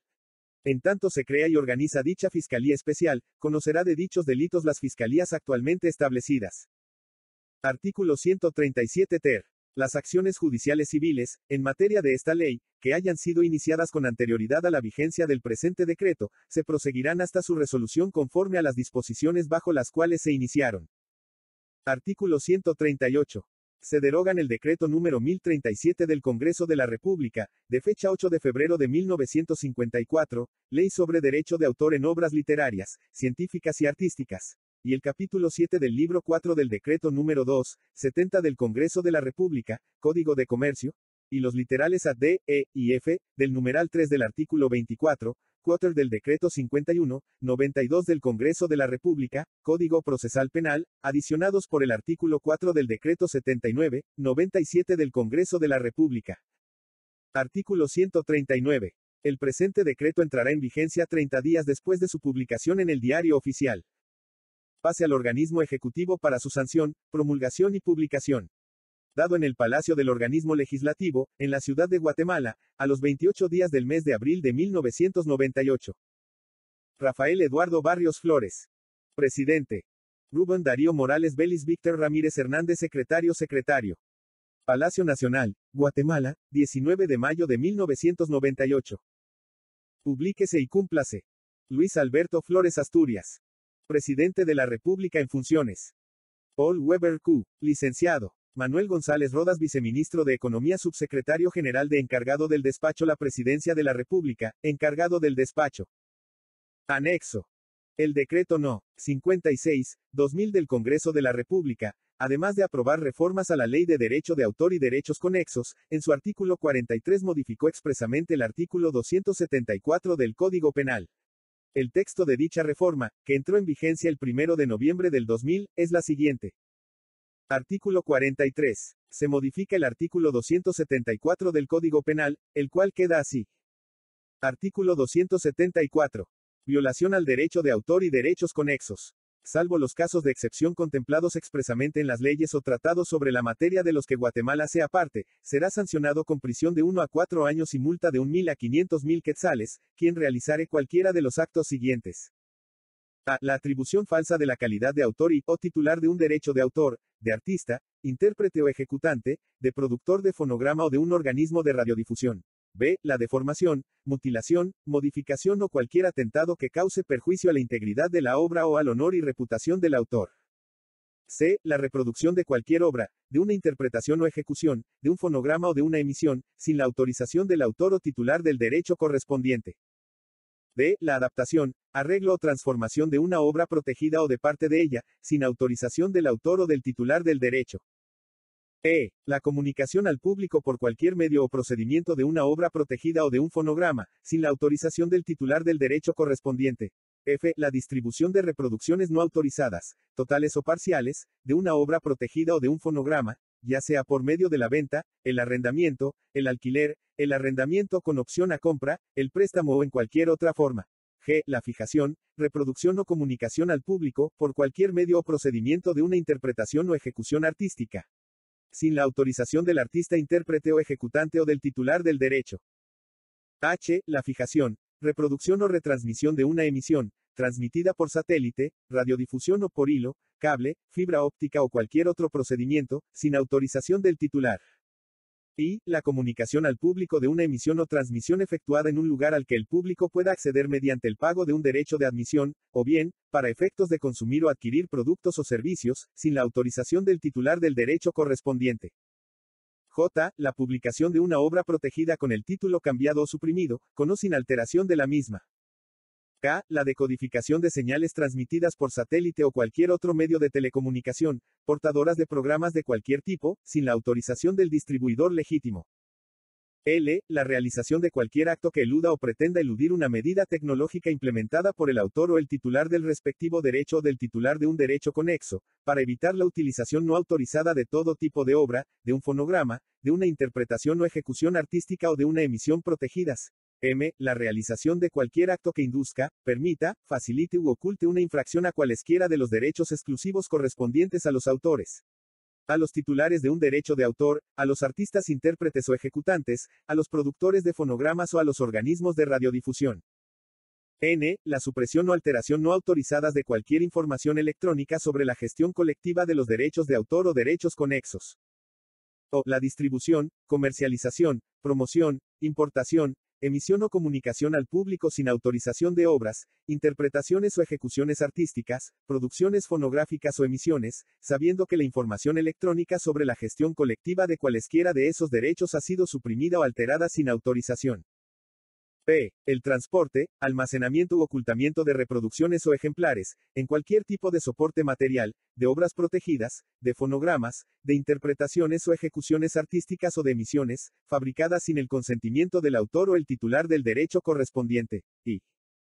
P. La recaudación de beneficios económicos por la utilización de obras, de interpretaciones artísticas o ejecuciones, de fonogramas o de emisiones de organismos de radiodifusión protegidos, o la realización de cualesquiera otras actividades propias de una sociedad. Q. De gestión colectiva, sin estar facultado para tales efectos. R. La divulgación de una obra inédita sin el consentimiento del autor o del titular del respectivo derecho. S. La traducción, total o parcial, de una obra sin la autorización del autor o titular del derecho correspondiente. T. La distribución no autorizada del original o reproducciones legítimas de una obra protegida o de un fonograma, ya sea por medio de la venta, el arrendamiento, el alquiler, el arrendamiento con opción a compra, el préstamo o en cualquier otra forma la importación o exportación del original o de reproducciones de toda obra protegida, con fines de explotación comercial, en cualquier tipo de soporte o de fonogramas, sin la autorización del titular del derecho respectivo. La determinación de los supuestos contenidos en esta norma se hará con base en las disposiciones aplicables de la Ley de Derecho de Autor y Derechos Conexos. Ministerio de Economía. Reglamento de la Ley de Derechos de Autor y Derechos. Conexos Acuerdo Gubernativo No. 233, 2003. Guatemala, 9 de abril de 2003. El presidente de la República. Considerando que la Ley de Derecho de Autor y Derechos Conexos, decreto número 33, 98 del Congreso de la República, reformada por decreto número 56, 2000, tiene por objeto la protección de los derechos de los autores de obras literarias y artísticas, de los artistas intérpretes o ejecutantes, de los productores de fonogramas y de los organismos de radiodifusión. Considerando que para desarrollar en forma adecuada los preceptos contenidos en la ley antes referida, es necesario contar con el instrumento legal idóneo que articule las normas que permitan hacer efectivos los procedimientos por parte del registro de la propiedad intelectual, autoridad administrativa responsable de la organización y administración de los registros del derecho de autor y de los derechos conexos y de cumplir todas las funciones y atribuciones que le asigna la citada ley, debiendo en consecuencia dictarse las disposiciones legales correspondientes. Por tanto, en ejercicio de las funciones que le confiere el artículo 183, literal E, de la Constitución Política de la República, y con fundamento en el artículo 137 del decreto número 33, 98 del Congreso de la República, Ley de Derecho de Autor y Derechos Conexos, reformado por el artículo 39 del decreto número 56, 2000 del mismo organismo, acuerda. Emitir el siguiente. Reglamento de la Ley de Derecho de Autor y Derechos Conexos. Capítulo I. Disposiciones generales. Artículo 1. Objeto. El presente reglamento tiene por objeto desarrollar los preceptos normativos contenidos en la Ley de Derecho de Autor y Derechos Conexos, decreto número 33, 98, reformado por el decreto número 56, 2000, ambos del Congreso de la República, para la aplicación de los procedimientos administrativos que deben ser implementados por el Registro de la Propiedad Intelectual, como autoridad administrativa responsable de la organización y administración de los registros del derecho de autor y los derechos conexos y de cumplir todas las funciones y atribuciones que le asigna. La citada ley, a efecto de brindar certeza y seguridad jurídica a los usuarios del citado registro. Artículo 2. Definiciones. Son aplicables al presente reglamento las definiciones contenidas en el artículo 4 de la Ley de Derecho de Autor y Derechos Conexos y las siguientes. Arancel. El arancel del registro de la propiedad intelectual en materia de derecho de autor y derechos conexos. Convenio de Berna. Convenio de Berna para la protección de las obras literarias y artísticas, 1971. Convención de Roma. Convención Internacional sobre la Protección de los Artistas Intérpretes o Ejecutantes, los productores de fonogramas y los organismos de radiodifusión, 1961. Convención de Ginebra. Convención para la Protección de los Productores de Fonogramas contra la Reproducción no autorizada de sus fonogramas, 1971. Ley. La Ley de Derecho de Autor y Derechos Conexos, Decreto número 33, 98 reformado por el Decreto número 56, 2000, ambos del Congreso de la República. Registro. El registro de la propiedad intelectual. Reglamento. El reglamento de la ley de derecho de autor y derechos conexos. Registrador. El registrador o subregistradores de la propiedad intelectual. Artículo 3. Solicitudes. No obstante que el goce y el ejercicio de los derechos de autor y los derechos conexos reconocidos en la ley no están supeditados a la formalidad de registro o cualquier otra, en el caso que se opte por solicitar la inscripción, toda solicitud que se presente al registro debe indicar como mínimo. Nombres y apellidos completos del solicitante. Tratándose de personas jurídicas, la razón o denominación social.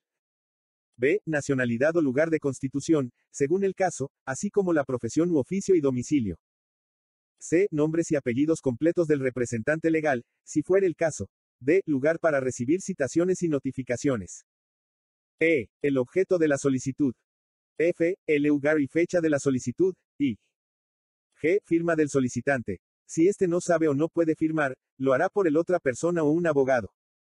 Cuando la solicitud fuere presentada por dos o más personas, éstas designarán un representante común en quien unifican su personería. Si no se hiciere tal designación, se considerará como tal al solicitante que aparezca mencionado en primer lugar en la solicitud. Para facilitar la comunicación con el registro, el solicitante podrá indicar en su solicitud otros datos, tales como dirección de correo electrónico, número telefónico y o número de facsímil.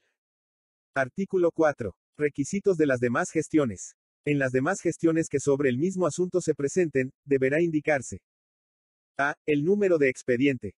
B. Los nombres y apellidos completos del solicitante o de quien lo represente. C. La obra o derecho conexo al que se refiere. Y D. Los requisitos contemplados en los literales F y G del artículo 3 anterior. Artículo 5. Uso de formularios. Las solicitudes se presentarán en los formularios que el registro ponga a disposición de los usuarios. Artículo 6. Notificaciones. El registro notificará sin necesidad de gestión de parte todas las resoluciones en las que ordene la realización de un acto, en las que requiera la entrega de un documento y las resoluciones definitivas que se emitan en cualesquiera de las formas siguientes. A. En la sede del registro. B. En el lugar señalado por el solicitante para recibir notificaciones. B. 1. Por el personal del registro. B. 2. Por medio de notario. O. B. 3 por correo certificado a costa del interesado. En todo caso se tendrán por bien hechas las notificaciones que se practiquen en el lugar señalado por el solicitante, en tanto no conste cambio de dirección para tal efecto. Artículo 7. Duplicado y copias. De toda solicitud y documentos que se presenten deberán adjuntarse una copia para efectos de reposición, salvo que el registro establezca otro sistema que asegure contar con duplicados o copias para efectos de reposición. De toda resolución que se emita deberá conservarse una copia para efectos de reposición, que podrá obrar en soporte magnético. Artículo 8. Presentación de solicitudes. Presentada cualquier tipo de solicitud, el registro le anotará fecha y hora de su recepción, le asignará número de expediente cuando proceda y entregará al interesado una copia de la misma en donde consten esos datos. Artículo 9. Comprobante de pago de tasas. El pago de las tasas establecidas en el arancel podrá acreditarse mediante el documento original emitido a favor del interesado, o bien, mediante fotocopia del mismo legalizada por notario. Artículo 10. Plazos. Salvo disposición diferente contenida en la ley o este reglamento, toda solicitud o gestión efectuada en materia de derecho de autor y derechos conexos tendrá un plazo de respuesta por parte del registro de 10 días hábiles. Artículo 11. Registro de obras. Las obras y demás producciones que se registren protegidas por la ley y este reglamento, será declarativo y no constitutivo de derechos. Capítulo 2. Derecho de autor. Artículo 12. Condiciones de protección. Las obras protegidas por la ley son aquellas creaciones originales, susceptibles de ser divulgadas o reproducidas por cualquier medio. La protección que otorga la ley se concede a las obras desde el momento de su creación, independientemente del mérito, destino o modo de expresión, pero para que proceda su inscripción y depósito se requiere que hayan sido fijadas en un soporte material. Artículo 13. Exclusiones. No son objeto de protección por derecho de autor, entre otras.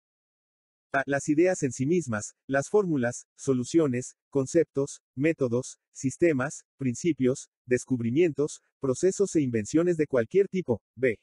El aprovechamiento industrial o comercial de las ideas contenidas en las obras. C. Los esquemas, planes o reglas para realizar actos mentales, juegos o negocios. D. Las letras, los dígitos o los colores aislados. E. Los nombres y títulos o frases aislados.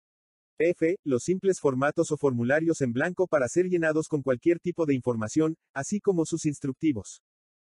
G. Las reproducciones o imitaciones, sin autorización, de escudos, banderas o emblemas de cualquier país, Estado, municipio o división político-administrativa equivalente, ni las denominaciones, reglas, símbolos, siglas o emblemas de organizaciones internacionales gubernamentales, no gubernamentales o de cualquier otra organización reconocida oficialmente, así como la designación verbal de los mismos. H.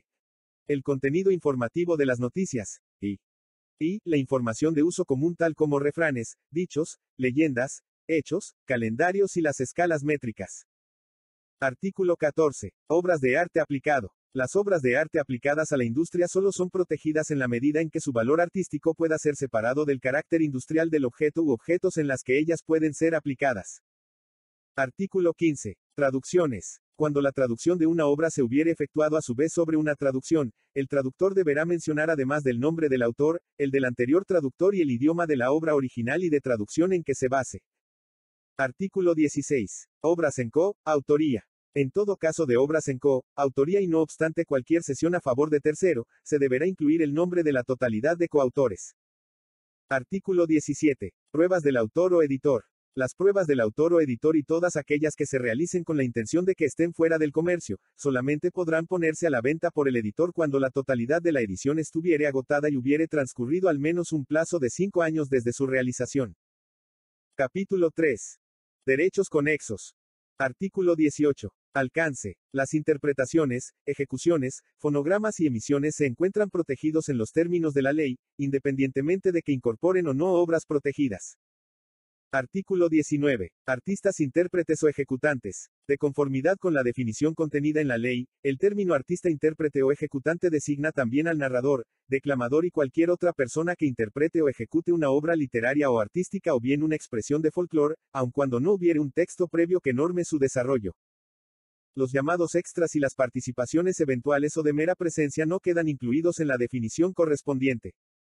Artículo 20. Productor de fonogramas. De conformidad con el artículo 58 de la ley, productor de fonogramas es toda persona individual o jurídica que fija por primera vez los sonidos de una ejecución u otros sonidos o la representación digital de los mismos y es responsable de la edición, reproducción y publicación de fonogramas. Artículo 21. Requisitos de los fonogramas. Para fines de identificar al titular de los derechos, los fonogramas podrán utilizar al identificarse el símbolo de la letra P encerrada en un círculo, seguida del nombre completo del producto del fonograma y la indicación del año en que se haya realizado la primera publicación de la producción. En ningún caso la omisión de dicha mención implicará la pérdida o limitación del ejercicio de los derechos que correspondan al productor del fonograma. Artículo 22. Ejecución pública. Para los efectos de lo dispuesto en el artículo 59 de la ley, se considera ejecución pública de fonogramas cualquier clase de comunicación pública en los términos del literal D, del artículo 21 de la ley. Artículo 23. Señales. Las señales objeto de las emisiones o transmisiones de los organismos de radiodifusión pueden ser A. Por la posibilidad de acceso al público. 1 codificadas, cifradas o encriptadas, las que han sido modificadas con el propósito de que sean recibidas y descifradas única y exclusivamente por las personas expresamente autorizadas, y 2. Libres, las que pueden ser recibidas por medio de cualquier aparato apto para su recepción. B. Por el momento de su emisión. 1. De origen, las que portan programas o eventos en vivo, y 2. Diferidas, las que portan programas o eventos previamente fijados. Capítulo IV. Derechos morales y patrimoniales. Artículo 24. Identificación de las obras. Para fines de identificar al autor o titular de los derechos, las obras protegidas por la ley que se publiquen o divulguen podrán utilizar la expresión, derechos reservados, o su abreviatura, DR, seguida del año en que la protección empiece, la letra C encerrada en un círculo, copyright, y el nombre completo del titular del derecho de autor. Cuando se opte por utilizarlas, estas menciones deberán aparecer en una parte visible de la obra. En ningún caso, su omisión implicará la pérdida de los derechos respectivos o una limitación a su ejercicio. Artículo 25. Obras utilizadas en publicidad. Salvo pacto en contrario, se presumirá que los autores que aporten obras para su utilización en anuncios publicitarios o de propaganda, comercial o no, han autorizado la omisión de su crédito autoral durante la utilización o explotación de las mismas, sin que esto implique renuncia a los derechos morales. Artículo 26. Defensa por parte del Estado. La defensa de los derechos morales de paternidad e integridad de las obras de aquellos autores que a su fallecimiento no tuviesen herederos y que corresponde al Estado de acuerdo a lo prescrito en el artículo 20 de la ley, estará a cargo de la Procuraduría General de la Nación, así como de aquellas obras que hubiesen entrado en el dominio público y que constituyen patrimonio cultural de la nación.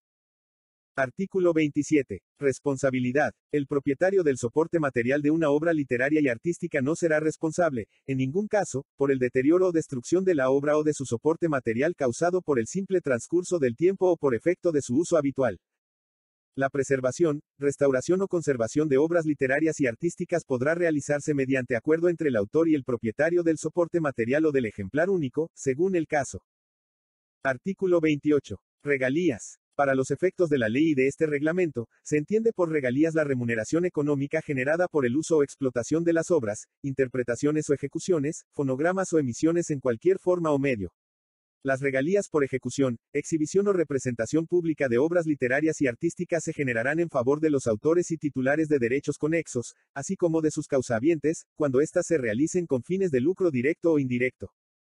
Artículo 29. Pago de regalías. El pago de regalías al autor, a los titulares de derechos conexos y a sus causavientes se hará en forma independiente a cada uno de quienes tengan derecho según la modalidad de explotación de que se trate.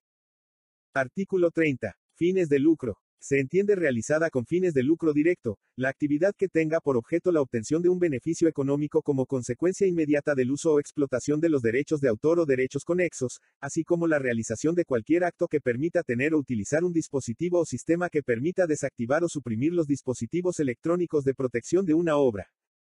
Se entenderá realizada con fines de lucro indirecto la utilización que resulte en una ventaja o atractivo adicional a la actividad principal desarrollada por el agente no será condición para la calificación de una actividad o conducta infractora el hecho que se obtenga o no el lucro esperado o previsto. Capítulo V. De las inscripciones en general.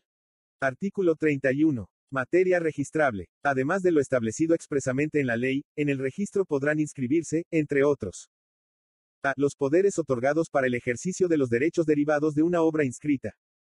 B. Los contratos o convenios celebrados sobre derecho de autor o derechos conexos y c. Las resoluciones judiciales que en cualquier forma modifiquen o extingan derechos de autor o derechos conexos, o bien, contratos o convenios inscritos.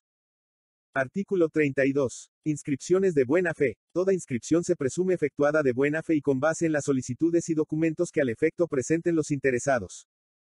Artículo 33. Declaración jurada. El acta notarial que documente la declaración jurada a que se refiere el artículo 106 de la ley, no exime al interesado en una inscripción de la presentación de la solicitud respectiva con base en el formulario establecido por el registro.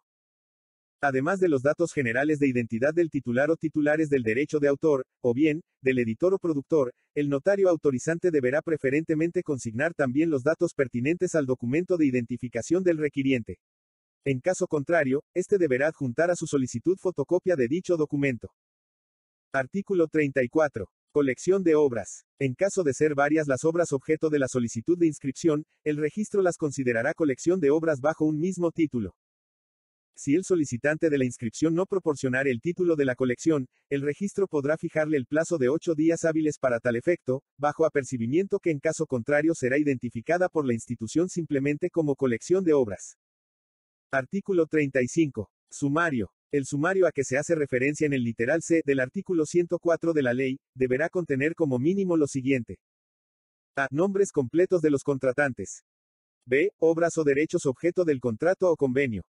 C. Condiciones esenciales establecidas por las partes, tales como plazo, alcance, limitaciones, ámbito territorial y otros. D. Lugar y fecha de la celebración. Y e. Firmas de los contratantes o de sus legítimos representantes. Artículo 36. Requisitos de la inscripción. Las inscripciones que efectúe el registro deberán contener al menos a. Naturaleza de la obra o derecho conexo inscrito. b. Número de inscripción. c. Nombre completo del autor y, cuando fuere distinto, del titular de los respectivos derechos. d. Nombre completo del solicitante de la inscripción. e. Lugar y fecha. y f. Nombre y firma del registrador. Los mismos requisitos deberá contener el certificado de inscripción que se emita a favor del autor o titular correspondiente. Artículo 37. Anotaciones marginales. El registro anotará al margen de toda inscripción cualquier hecho o circunstancia que modifique lo inscrito o se relacione con ello, haciendo referencia a cualquier otra inscripción que hubiese procedido, según el caso. En igual forma se procederá en el supuesto de aclaraciones, ampliaciones o rectificaciones. Artículo 38. Seudónimo. En el caso de solicitud de inscripción de obras escritas o creadas bajo seudónimo que no se hayan editado, no será legalmente exigible la presentación de la declaración jurada a que se refiere el artículo 106 de la ley, la cual se suplirá consignando la información pertinente en la propia solicitud. En el caso de obras editadas o producidas, la declaración jurada la podrá formular el propio editor o productor. En el sobre cerrado que debe adjuntarse a la solicitud de inscripción de una obra escrita bajo seudónimo, se consignarán los datos de identificación del autor tales como sus nombres y apellidos completos, su edad, estado civil, ocupación, nacionalidad y domicilio. El sobre respectivo deberá indicar el seudónimo y la identificación clara y precisa de la obra a que se refiere.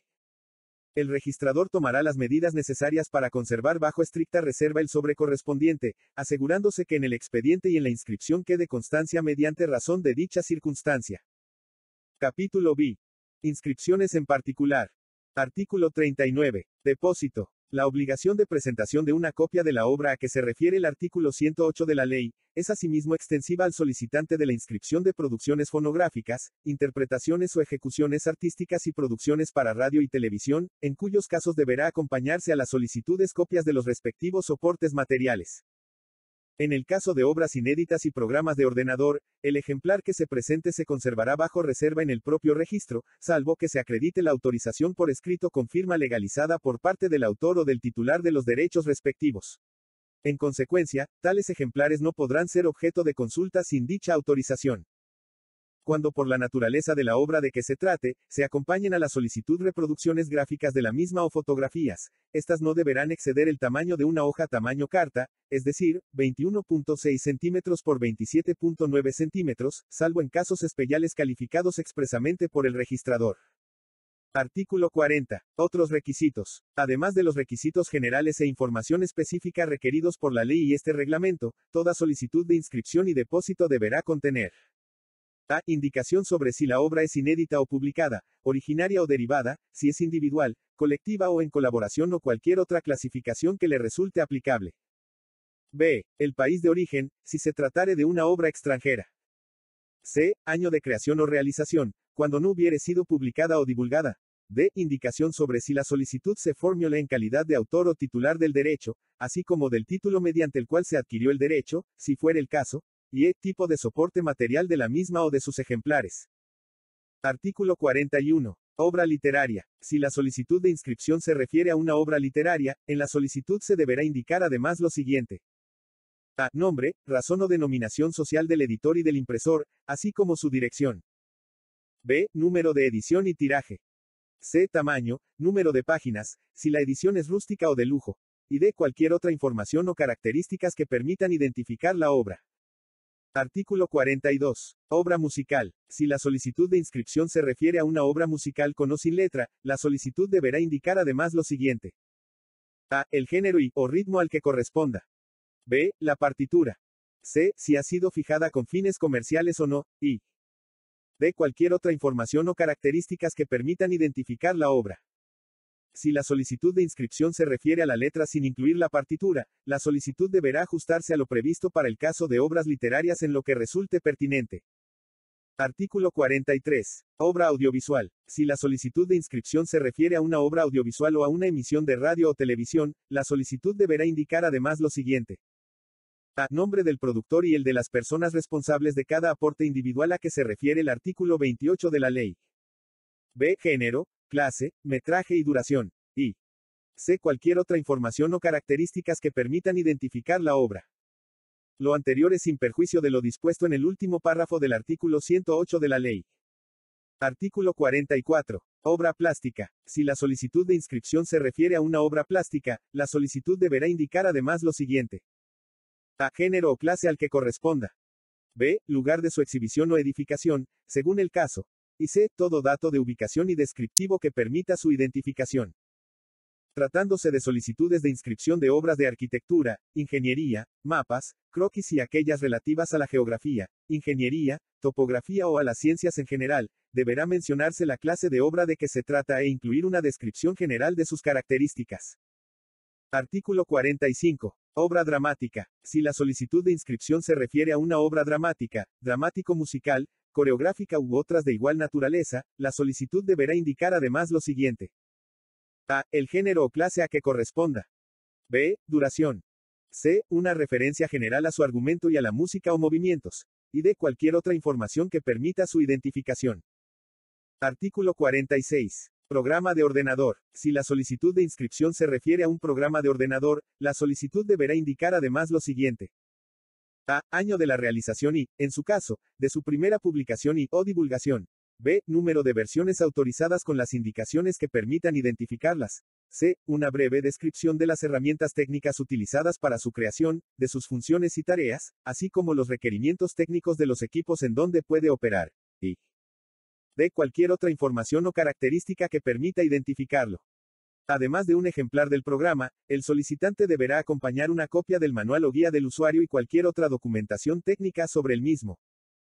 Artículo 47. Interpretación o ejecución. Si la solicitud de inscripción se refiere a una interpretación o ejecución, la solicitud deberá indicar además lo siguiente. A. El nombre y datos que identifiquen a los intérpretes o ejecutantes o, en el caso de orquestas, grupos musicales o sociales, el nombre de la agrupación y el de su director. B. El nombre de la obra objeto de interpretación o ejecución, incluyendo el de su autor o autores. C. Información sobre su soporte material, incluyendo el año de la fijación y de cualquier información adicional que permita su identificación. Artículo 48. Fonogramas. Si la solicitud de inscripción se refiere a una producción fonográfica, la solicitud deberá indicar además lo siguiente. A título o nombre del fonograma en su idioma original y, de no ser en español, su traducción. B. Año de la fijación. C. Títulos de las obras fijadas en el fonograma y el nombre de sus respectivos autores. D. Nombre de los artistas, intérpretes o ejecutantes. Y e. Cualquier información adicional que permita su identificación. Artículo 49. Emisiones de radiodifusión. Si la solicitud de inscripción se refiere a una emisión de radiodifusión, la solicitud deberá indicar además lo siguiente. A. El nombre e identificación del organismo de radiodifusión. B. Las obras, programas o producciones objeto de la emisión. Y. C. Lugar y fecha de la transmisión y, en el caso que estuviere fijada en un soporte con fines comerciales, el año de su fijación. D. Duración de la emisión. Y. E. Cualquier información adicional que permita su identificación.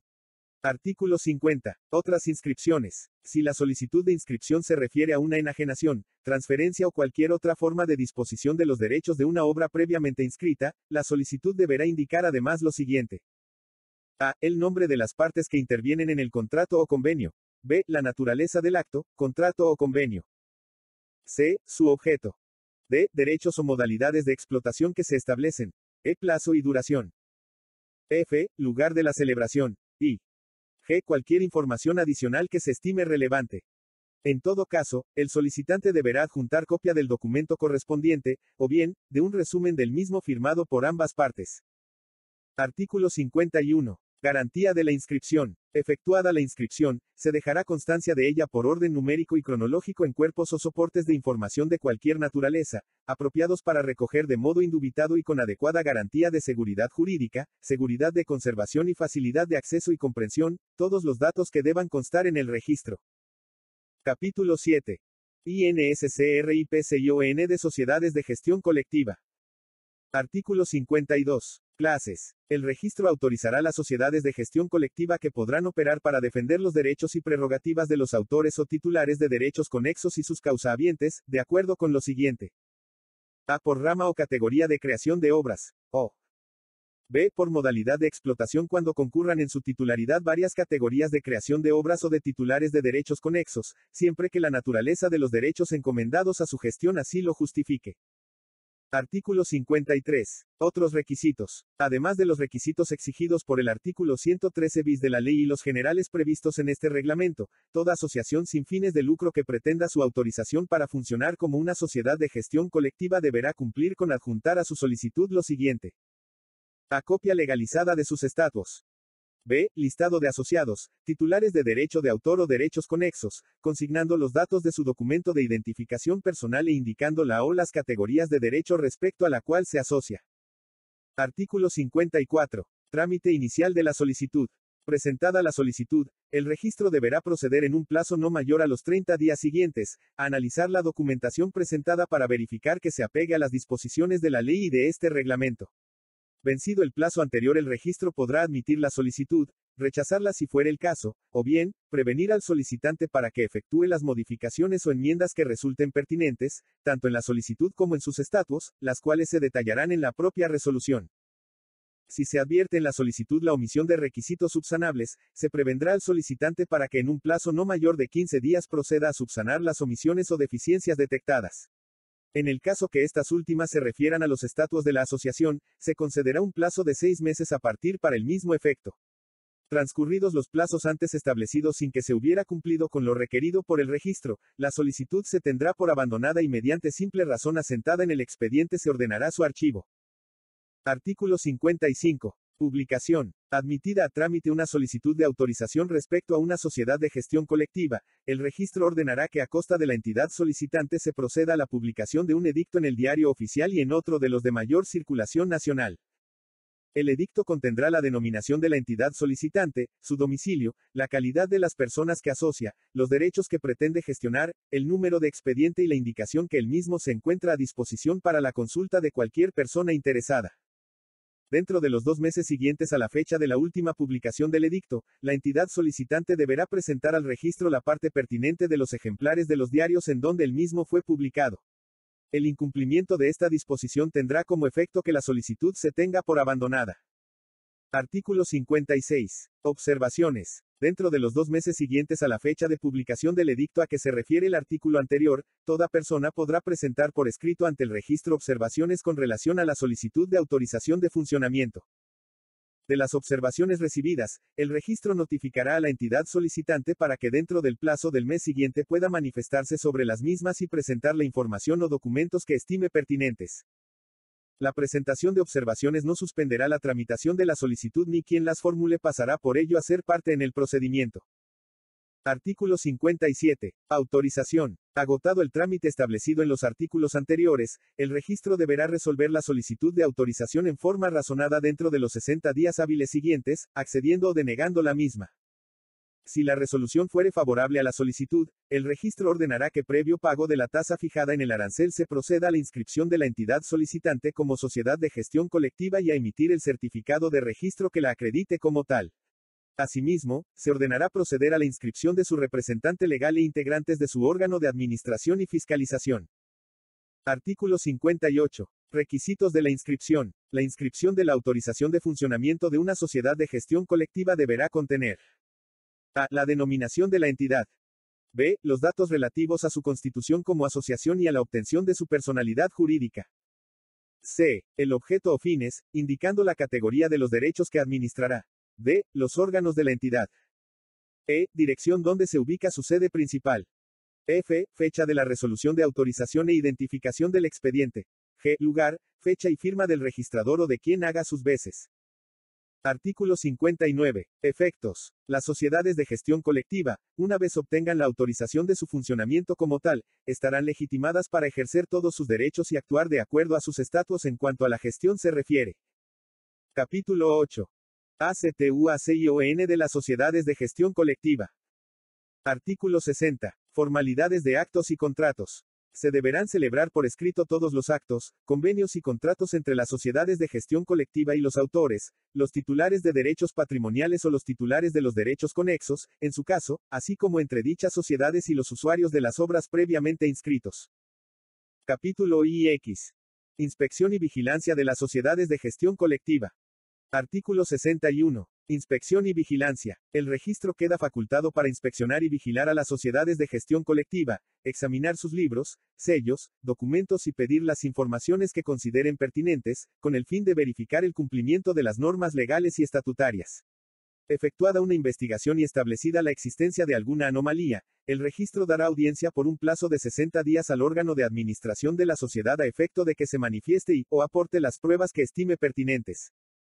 Artículo 62. Modificaciones. El registro, mediante resolución fundamentada, podrá ordenar a las sociedades de gestión colectiva, la modificación o corrección de las normas estatutarias o de los reglamentos o normas internas que pudieran haber originado la denegación de la autorización de funcionamiento, entorpecieran el régimen de fiscalización o constituyeran una violación a cualesquiera de las demás obligaciones impuestas por la ley o este reglamento. Artículo 63. Normas complementarias. Para efectos de garantizar la adecuada fiscalización que el registro debe efectuar respecto a las sociedades de gestión colectiva, se establecen las siguientes disposiciones especiales. A. Los informes que sean requeridos al órgano de administración de la sociedad, deberán rendirse en un plazo que no excederá de 30 días. B. El registro, a través del personal del Departamento de Derecho de Autor que sea designado a tal efecto, podrá realizar visitas de inspección para verificar el cumplimiento por parte de la sociedad de las obligaciones que establece la ley, este reglamento y o sus estatus. C. Cuando de la información proporcionada o de las visitas de inspección que se practiquen, se advierta la posibilidad de que se hubiere cometido alguna infracción a lo previsto en la ley, este reglamento o los estatutos correspondientes, el registro podrá ordenar que se practiquen auditorias a efecto de verificar la situación financiera y contable de la sociedad. D. Las auditorias que fueren ordenadas por el registro se llevarán a cabo a costa de la sociedad, por las personas que sean designadas de las propuestas por el Departamento de Derecho de Autor. E. El órgano de administración de la sociedad deberá velar porque se brinde toda la colaboración y facilidades a quienes efectúan la auditoría, incluyendo el proporcionar y o poner a disposición toda la documentación que les sea requerida. Y F. Concluida la auditoria, las personas comisionadas elaborarán un informe sobre los resultados que se deriven de las diligencias, el que será evaluado por el registro a fin de determinar las medidas y o sanciones que procedan conforme a la ley y este reglamento. Capítulo X. Régimen de sanciones en materia de gestión colectiva. Artículo 64. Prohibiciones. De conformidad con lo previsto en el artículo 121 de la ley, los funcionarios y personal del registro a quienes les resulta aplicable la prohibición contenida en el literal D, de dicho artículo son A. El registrador. B. Los subregistradores. C. El secretario general. D. El jefe del Departamento de Derecho de Autor y Derechos Conexos. Y E.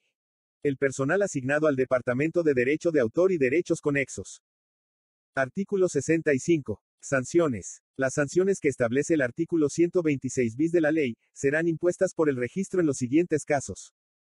A. Incumplimiento a la obligación contenida en el artículo 123 de la ley, relativa al reparto de los derechos, amonestación privada dirigida a la Junta Directiva de la Sociedad de Gestión Colectiva. B. Negarse sin justificación válida a cumplir o ejercer las atribuciones a que se refiere el artículo 115 de la ley, amonestación privada dirigida a la Junta Directiva de la Sociedad de Gestión Colectiva. C. Reclamar el pago de derechos sobre la utilización por terceros de obras sobre las cuales no tiene la representación, multa de un mil a cinco mil quetzales, según la gravedad del caso. D. Negarse a admitir como socio a un titular de derecho sin motivo que lo justifique. Amonestación privada dirigida a la Junta Directiva de la Sociedad de Gestión Colectiva. E. Omisión de inscribir los reglamentos aprobados por la Asamblea General dentro de los dos meses siguientes a su aprobación, multa de 2.000 quetzales por cada reglamento. F. Omitir someter los estados financieros, los registros y la documentación correspondiente al análisis y dictamen de una auditoría externa, amonestación privada dirigida a la Junta Directiva de la Sociedad de Gestión Colectiva. G. Incurrir en alguno de los casos de prohibición establecidos en el artículo 121 de la ley, multa de 2.000 a 10.000 quetzales, según la gravedad del caso. H. Omitir la presentación de la declaración jurada a que se refiere el último párrafo del artículo 121 de la ley, multa de 500 quetzales. Y, omitir remitir a los miembros y a otras sociedades que representen, la información periódica a que se refiere el artículo 122 de la ley, multa de un mil quetzales. J. No entregar al registro la información que éste le requiera dentro de los plazos que a tal efecto se le señalen, o negarse a facilitar a los funcionarios de aquel el acceso a la información para realizar la labor de fiscalización que por ley les corresponde, multa de 2.000 a 10.000 quetzales, según la gravedad del caso. Y, K. No publicar los estados financieros de la entidad dentro de los dos meses siguientes a su aprobación, de conformidad con lo establecido en el artículo 126 de la ley, multa de 2.000 quetzales. En caso de reincidencia en alguna de las infracciones a las que corresponde sancionar con amonestación privada, el registro impondrá como sanción la amonestación pública. En caso de reincidencia en alguna de las infracciones a las que corresponde sancionar con multa o con amonestación pública, el registro según la gravedad del caso podrá disponer la suspensión temporal o definitiva de la autorización para funcionar como sociedad de gestión colectiva. Artículo 66. Junta Interventora. El registro podrá, de oficio o a solicitud de cualquiera de los asociados o terceros interesados, ordenar mediante resolución fundamentada la intervención de una sociedad de gestión colectiva si se determinare que dicha entidad no cumple las disposiciones previstas en la ley, este reglamento o sus estatutos, o bien, si ha realizado actos que puedan perjudicar a los asociados o terceros interesados previamente ordenar la intervención de la sociedad de gestión colectiva, el registro ordenará la inspección de la entidad a fin de determinar si se encuentra en cualquiera de las situaciones descritas en el párrafo anterior. El registrador nombrará uno o varios interventores a quienes otorgará las facultades propias de la intervención y les delegará bajo su responsabilidad la facultad de autorizar actos o contratos de la sociedad para su validez. En la misma resolución se determinará la forma y monto de remuneración de los interventores, la cual será a cargo de la propia sociedad de gestión colectiva. La intervención será notificada a la Junta Directiva de la entidad, así como al Director General y al Comité de Vigilancia. Artículo 67. Procedimiento. En todo caso en que proceda la imposición de alguna de las sanciones previstas en la ley, incluyendo la intervención, el registro concederá a la sociedad de gestión colectiva audiencia por un plazo de un mes para que subsane el incumplimiento, o bien, para que demuestre que no existe tal en vista de lo manifestado por la sociedad de gestión colectiva, o bien, una vez transcurrido el plazo establecido en el artículo anterior, el registro impondrá la sanción correspondiente. En caso de decidirse la suspensión definitiva de la autorización de la sociedad de gestión colectiva, la resolución respectiva deberá publicarse una sola vez en el diario oficial. Artículo 68. Efectos de la suspensión. Mientras una sociedad de gestión colectiva tenga suspendido su funcionamiento, sus administradores o los representantes legales no podrán celebrar contratos ni ejercer operaciones en nombre de ella, salvo las que sean necesarias para la conservación del patrimonio social. La contravención a la presente norma los hará solidariamente responsables de los perjuicios que ocasionen a la sociedad o a terceros. Artículo 69. Fondo documental. Las sociedades de gestión colectiva deberán crear y mantener un fondo documental con las obras declaradas por los socios al hacer la solicitud de ingreso a la sociedad, cuya finalidad será la de acreditar el catálogo de obras que administre en nombre de sus asociados. Capítulo C. De la AORGANIZACION y funcionamiento del registro, en materia de derecho de autor y derechos conexos. Artículo 70. Registro de la propiedad intelectual. El registro es la dependencia administrativa del Ministerio de Economía que tiene a su cargo, entre otras funciones, el organizar y administrar un registro de derecho de autor y derechos conexos, con la finalidad de garantizar la seguridad jurídica de los autores, de los titulares de los derechos conexos y de los titulares de los derechos patrimoniales respectivos y sus causavientes, así como dar una adecuada publicidad a las obras, actos y documentos a través de su inscripción, cuando así lo soliciten los titulares. De conformidad con las atribuciones contenidas en el artículo 104 de la ley, el registro también es la entidad administrativa competente para a. Planificar y desarrollar programas de difusión, capacitación y formación en materia de derecho de autor y derechos conexos, directamente o en colaboración con entidades nacionales, extranjeras e internacionales. B. Coordinar políticas, estrategias y acciones con las instituciones públicas o privadas, nacionales, extranjeras, regionales e internacionales, que tengan relación o interés con el fomento y la protección de los derechos de autor y derechos conexos. C. Proporcionar información al público y usuarios respecto a la materia, así como aquella información y cooperación técnica que le sea requerida por las autoridades competentes.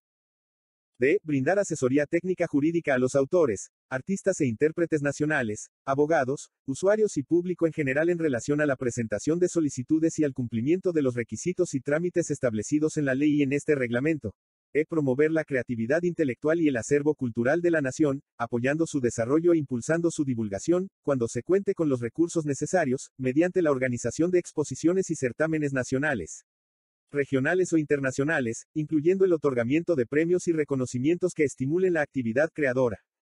F. Concertar convenios de cooperación o coordinación con instituciones públicas o privadas, nacionales, extranjeras, regionales e internacionales para promover y fomentar los derechos de autor y derechos conexos, así como para el intercambio de experiencias administrativas y jurídicas y, principalmente, para la capacitación de su personal, la transferencia de metodologías de trabajo y la organización e intercambio de publicaciones y la actualización de acervos documentales y bases de datos en materia de derecho de autor y derechos conexos. G. Realizar estudios sobre la situación del derecho de autor y los derechos conexos a nivel nacional e internacional y participar en las reuniones o foros internacionales relacionados con esa materia, cuando así lo dispongan las autoridades del Ministerio de Economía. H. Actuar como órgano de consulta en la materia de las distintas dependencias y entidades de la administración pública. y participar en coordinación con las dependencias competentes del Ministerio de Economía en las negociaciones comerciales sobre la materia. J. Elaborar la memoria de labores de cada año, incluyendo datos estadísticos sobre las actividades registrales de ese periodo. K. Constituir un medio de publicidad, garantía, autenticidad y seguridad a las obras, actos y documentos que se inscriban de conformidad con la ley. L. Tomar todas las medidas que sean necesarias para asegurar la adecuada conservación y custodia de las obras depositadas en el registro y de toda aquella información relacionada. Y M. Cumplir todas las demás funciones, atribuciones y actividades que le sean asignadas de conformidad con la ley y este reglamento. Artículo 71. Organización del registro. El registro estará a cargo de un registrador, quien será asistido en el cumplimiento de sus funciones sustantivas por uno o más subregistradores quienes actuarán por delegación de aquel. Para el cumplimiento de sus funciones el registro se organiza con los departamentos establecidos en el artículo 91 del Acuerdo Gubernativo número 89, 2002, de fecha 18 de marzo del año 2002, Reglamento de la Ley de Propiedad Industrial. Artículo 72. Funciones del registrador. En materia de derecho de autor y derechos conexos, el registrador y los subregistradores tendrá a su cargo las mismas funciones y facultades establecidas en los artículos 92 y 93 del Acuerdo Gubernativo número 89, 2002, de fecha 18 de marzo del año 2002, Reglamento de la Ley de Propiedad Industrial, en lo que resulten pertinentes. Capítulo 12. Actividad registral. Artículo 73. Control de documentos e inscripciones. En materia de derecho de autor y derechos conexos, el registro llevará y mantendrá por un medio adecuado, constancia de los documentos e inscripciones siguientes. A. Presentación de solicitudes. B. Inscripción de obras. C. Inscripción de interpretaciones o ejecuciones. D. Inscripción de fonogramas. E. Inscripción de emisiones de organismos de radiodifusión. F. Inscripción de contratos y convenios. G. Gravámenes. H. Inscripción de sociedades de gestión colectiva y cualquier otro que el registrador estime necesario para el adecuado y eficiente desarrollo de su labor registral. Artículo 74. Modernización. El Ministerio de Economía por medio de acuerdo ministerial, podrá autorizar al registro para establecer un sistema distinto de llevar a cabo la inscripción de los derechos de autor y conexos, incluyendo el uso de hojas movibles o un registro electrónico. Artículo 75. Publicidad. La publicidad de los registros, expedientes y archivos, cuando proceda se hará mediante consulta directa del interesado, bajo la responsabilidad del funcionario que el registro designe y en el lugar que para tal efecto se habilite, o bien, mediante la expedición de copias simples o certificadas y constancias o certificaciones. Artículo 76. Numeración de expedientes. Los expedientes que se formen en el registro se numerarán en series anuales separadas, que comenzarán con la primera solicitud presentada en cada año. El número de cada expediente se constituirá con los cuatro dígitos del año de presentación de la solicitud, seguido del número correlativo que le corresponde a la misma atendiendo a la fecha y hora de presentación. Artículo 77. Libros de registro. Cuando las inscripciones se asienten en libros, estos deberán tener en la carátula una identificación que deberá expresar el nombre y el número de orden del libro. Estos serán autorizados por el funcionario del Ministerio de Economía que corresponda, especificando en la primera página el número de folios de que consta el libro y las circunstancias de hallarse todos ellos debidamente numerados y sellados. Los libros del registro serán numerados por orden de antigüedad y podrán llevarse varios tomos a la vez de una misma clase cuando sea necesario. Artículo 78. Publicidad. Los registros, expedientes y archivos cuando proceda, podrán ser objeto de consulta directa por el interesado bajo la responsabilidad de un funcionario del registro. El interesado podrá obtener a su costa copias simples o certificadas y constancias o certificaciones de los documentos e inscripciones que obren en el registro. Cuando el registro esté en posibilidad de establecer nuevas modalidades de servicios, las consultas podrán hacerse por medios electrónicos en la forma que el propio registro determine. Artículo 79. Reposición de libros. Cuando con motivo de cualquier siniestro o de acto doloso o culposo se perdieren o quedasen destruidos, dañados o ilegibles en todo o en parte, los libros del registro, el registrador levantará acta en la que hará constar con la mayor claridad cuáles son los libros que faltan o que han sufrido daño y las medidas de seguridad y de conservación que hubiere dispuesto. Tomando como base el acta a que se refiere el párrafo anterior, el ministro de Economía, mediante acuerdo ordenará la reposición de los libros, previniendo a los interesados, por medio de avisos publicados en el diario oficial y en uno de los diarios de mayor circulación, que dentro de los tres meses siguientes contados desde la fecha de publicación presentan al registro, la certificación o título que acredite el derecho que tuvieren inscrito. Dicho plazo podrá prorrogarse, según las circunstancias. Si los interesados no se presentaren dentro de los plazos fijados, el registrador hará las reinscripciones que correspondan con base en la documentación que obre en el registro, sin responsabilidad de su parte. Artículo 80. Reposición de expedientes. Sin perjuicio de las responsabilidades a que haya lugar y la imposición de medidas disciplinarias al personal responsable, la reposición de un expediente perdido o destruido total o parcialmente, deberá ser ordenada por el registrador en forma inmediata, de oficio a solicitud del interesado para tales efectos, el registrador deberá mantener organizado y actualizado el archivo de duplicado de solicitudes, resoluciones y documentos el cual podrá estar en soporte magnético cuando la reposición fuere de un expediente formado con anterioridad a la vigencia de este reglamento y respecto al cual no hubiese duplicado en el archivo, el registrador podrá ordenar la reposición con base en las copias de la solicitud inicial de las resoluciones notificadas de las publicaciones y de cualquier otra documentación que estimase necesario requerir al solicitante. En vista de la documentación recabada o a la presentada por el interesado, el registrador ordenará la reposición indicando en su resolución las medidas adoptadas, las actuaciones y documentos a reponer y el estado del expediente a partir del cual debe continuarse el trámite respectivo. En tales casos la reposición no perjudicará derechos o intereses de terceros quienes podrán promover las acciones que correspondan. Artículo 81. Reposición de orden pago. El registro podrá ordenar por una sola vez y a costa del interesado que se proceda a la reposición de una orden de pago, siempre que así le sea solicitado por escrito y no hayan transcurrido los plazos que con relación a cada categoría de derechos, resultan aplicable de conformidad con lo establecido en la ley o este reglamento. Artículo 82. Forma de realizar las inscripciones. Cada inscripción tendrá al principio el número correlativo que le corresponde. Los espacios en blanco que permitan intercalaciones se llenarán con una línea antes de que sea firmada la inscripción. Serán nulas las adiciones, entre renglonaduras y testados y no se salvan íntegramente antes de la firma del registrador, siendo prohibido en absoluto hacer raspaduras y tachaduras. Artículo 83. Corrección de errores. El registrador de oficio a solicitud del titular o por orden judicial podrá modificar una inscripción para corregir un error cometido. Los errores materiales podrán ser corregidos mediante anotaciones al margen de la inscripción y los errores de concepto mediante una nueva inscripción. Se entenderá que se ha cometido error material cuando se han inscrito unas palabras por otras, se ha omitido la expresión de algún requisito o circunstancia cuya falta no causa nulidad o bien cuando se ha consignado en forma equívoca alguno de los requisitos de la inscripción, siempre que con ello no se cambie el sentido general de la inscripción ni de ninguno de sus conceptos. Se entenderá que existe error de concepto cuando alguna de las palabras expresadas en la inscripción alteren o varíen su verdadero sentido sin causar su nulidad. Artículo 84. Anotaciones. Todas las anotaciones relativas a enajenaciones, licencias, modificaciones, limitaciones, derechos reales, cancelaciones u otras circunstancias que afecten un derecho inscrito se harán constar en el mismo folio donde se hubiere realizado la inscripción cuando materialmente ello fuere posible.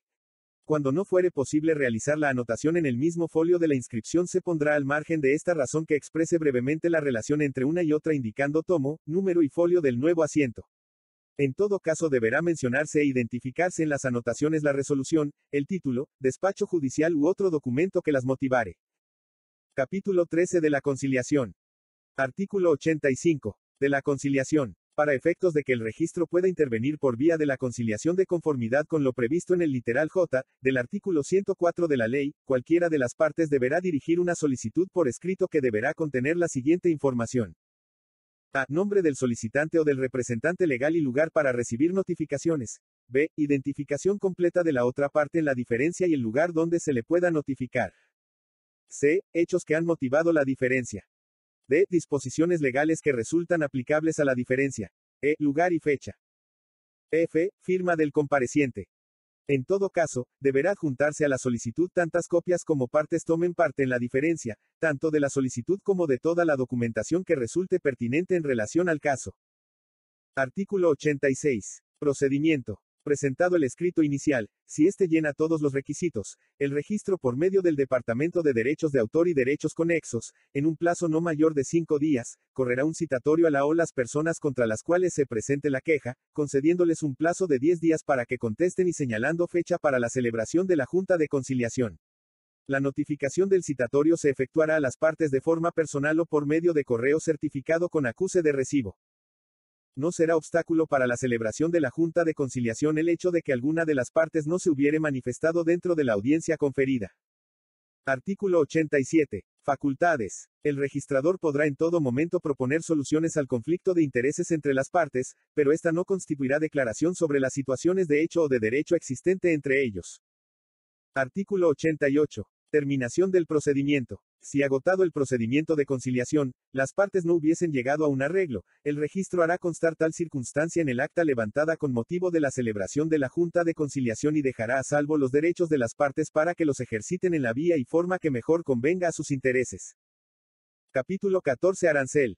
Artículo 89. Naturaleza. Las tasas y honorarios establecidos en el presente arancel constituyen los pagos obligatorios que deben cancelar al registro las personas individuales o jurídicas que soliciten la inscripción de obras literarias y artísticas, interpretaciones o ejecuciones, fonogramas o emisiones de organismos de radiodifusión y de cualquier contrato, convenio o acto que se relacione con los mismos, así como por la obtención de informes, certificaciones y otras operaciones registrales. Artículo 90. Tasas. Por los servicios que brinde y las operaciones que efectúe, el registro cobrará las siguientes tasas. A. Por la inscripción y depósito de obras literarias y artísticas. 1. Obras literarias. 200 quetzales Q. 200.00. 2. Programas de ordenador. 500 quetzales Q. 500.00. 3. Composiciones musicales, con letra o sin ella. 200 quetzales Q. 200.00. 4. Obras dramáticas y dramático-musicales, coreografías y pantomimas. 200 quetzales Q. 200.00. 5. Obras audiovisuales. 400 quetzales Q. 400.00. 6. Obras de las bellas artes como dibujos, pinturas, esculturas, grabados, litografías, de arquitectura, fotográficas o de arte aplicado. 200 quetzales Q. 200.00. 7. Ilustraciones, mapas, croquis, planos, bosquejos y obras plásticas relativas a la geografía, la topografía, la arquitectura o las ciencias. 200 quetzales Q. 200.00. 8. Traducciones, adaptaciones, arreglos musicales y demás transformaciones de una obra. 200 quetzales Q. 200.00. 9. Antologías y diccionarios y similares. 300 quetzales Q. 300.00. 10. Compilaciones de cualesquiera de las obras anteriores, 300 quetzales Q, 300.00. 11. Bases de datos, 500 quetzales Q, 500.00. 12. Por cualquier otro tipo de obra no contemplado anteriormente, 200 quetzales Q, 200.00. B. Por inscripción y depósito de soportes relativos a derechos conexos. 1. Interpretaciones artísticas o ejecuciones. 200 quetzales Q. 200.00. 2. Producciones fonográficas. 250 quetzales Q. 250.00.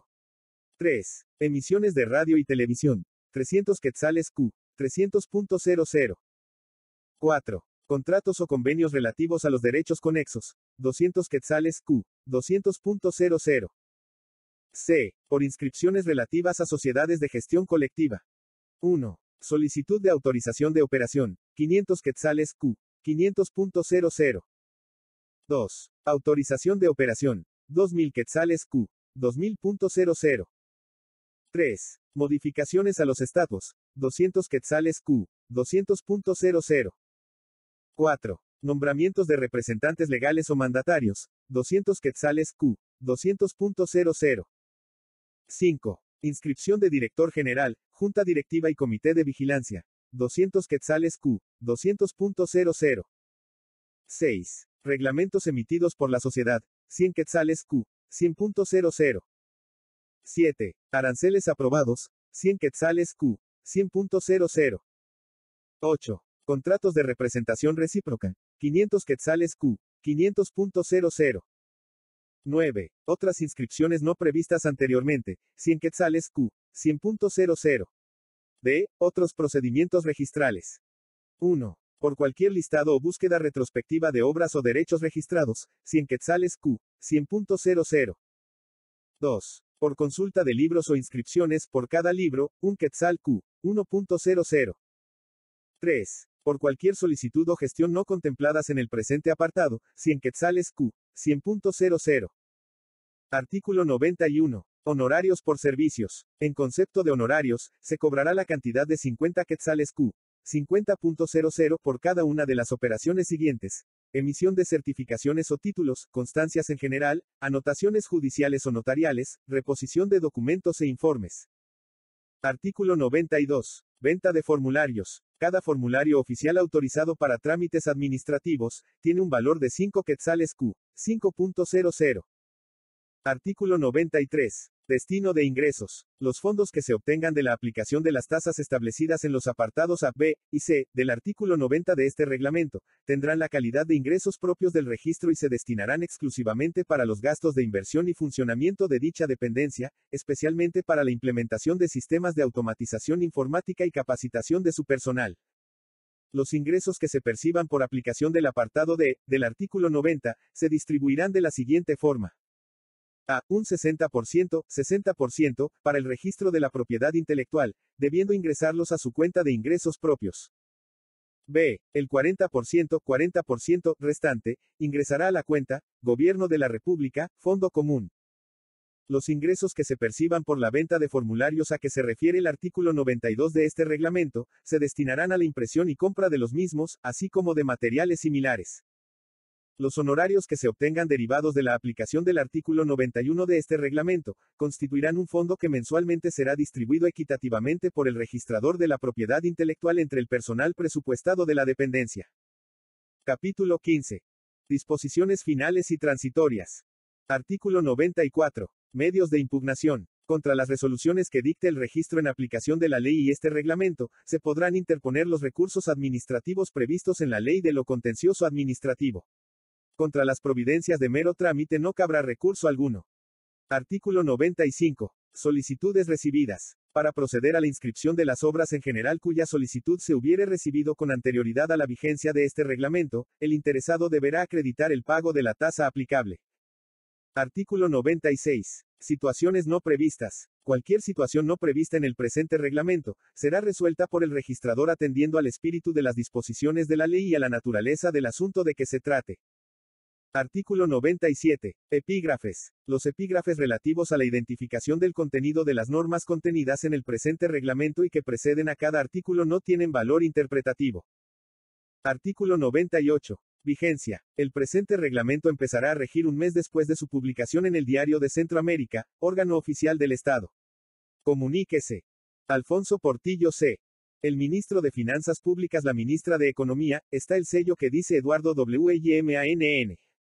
Ministro de Finanzas Públicas. Licenciado. J. Luis Mijango C. Secretario General. Presidencia de la RPVLICA.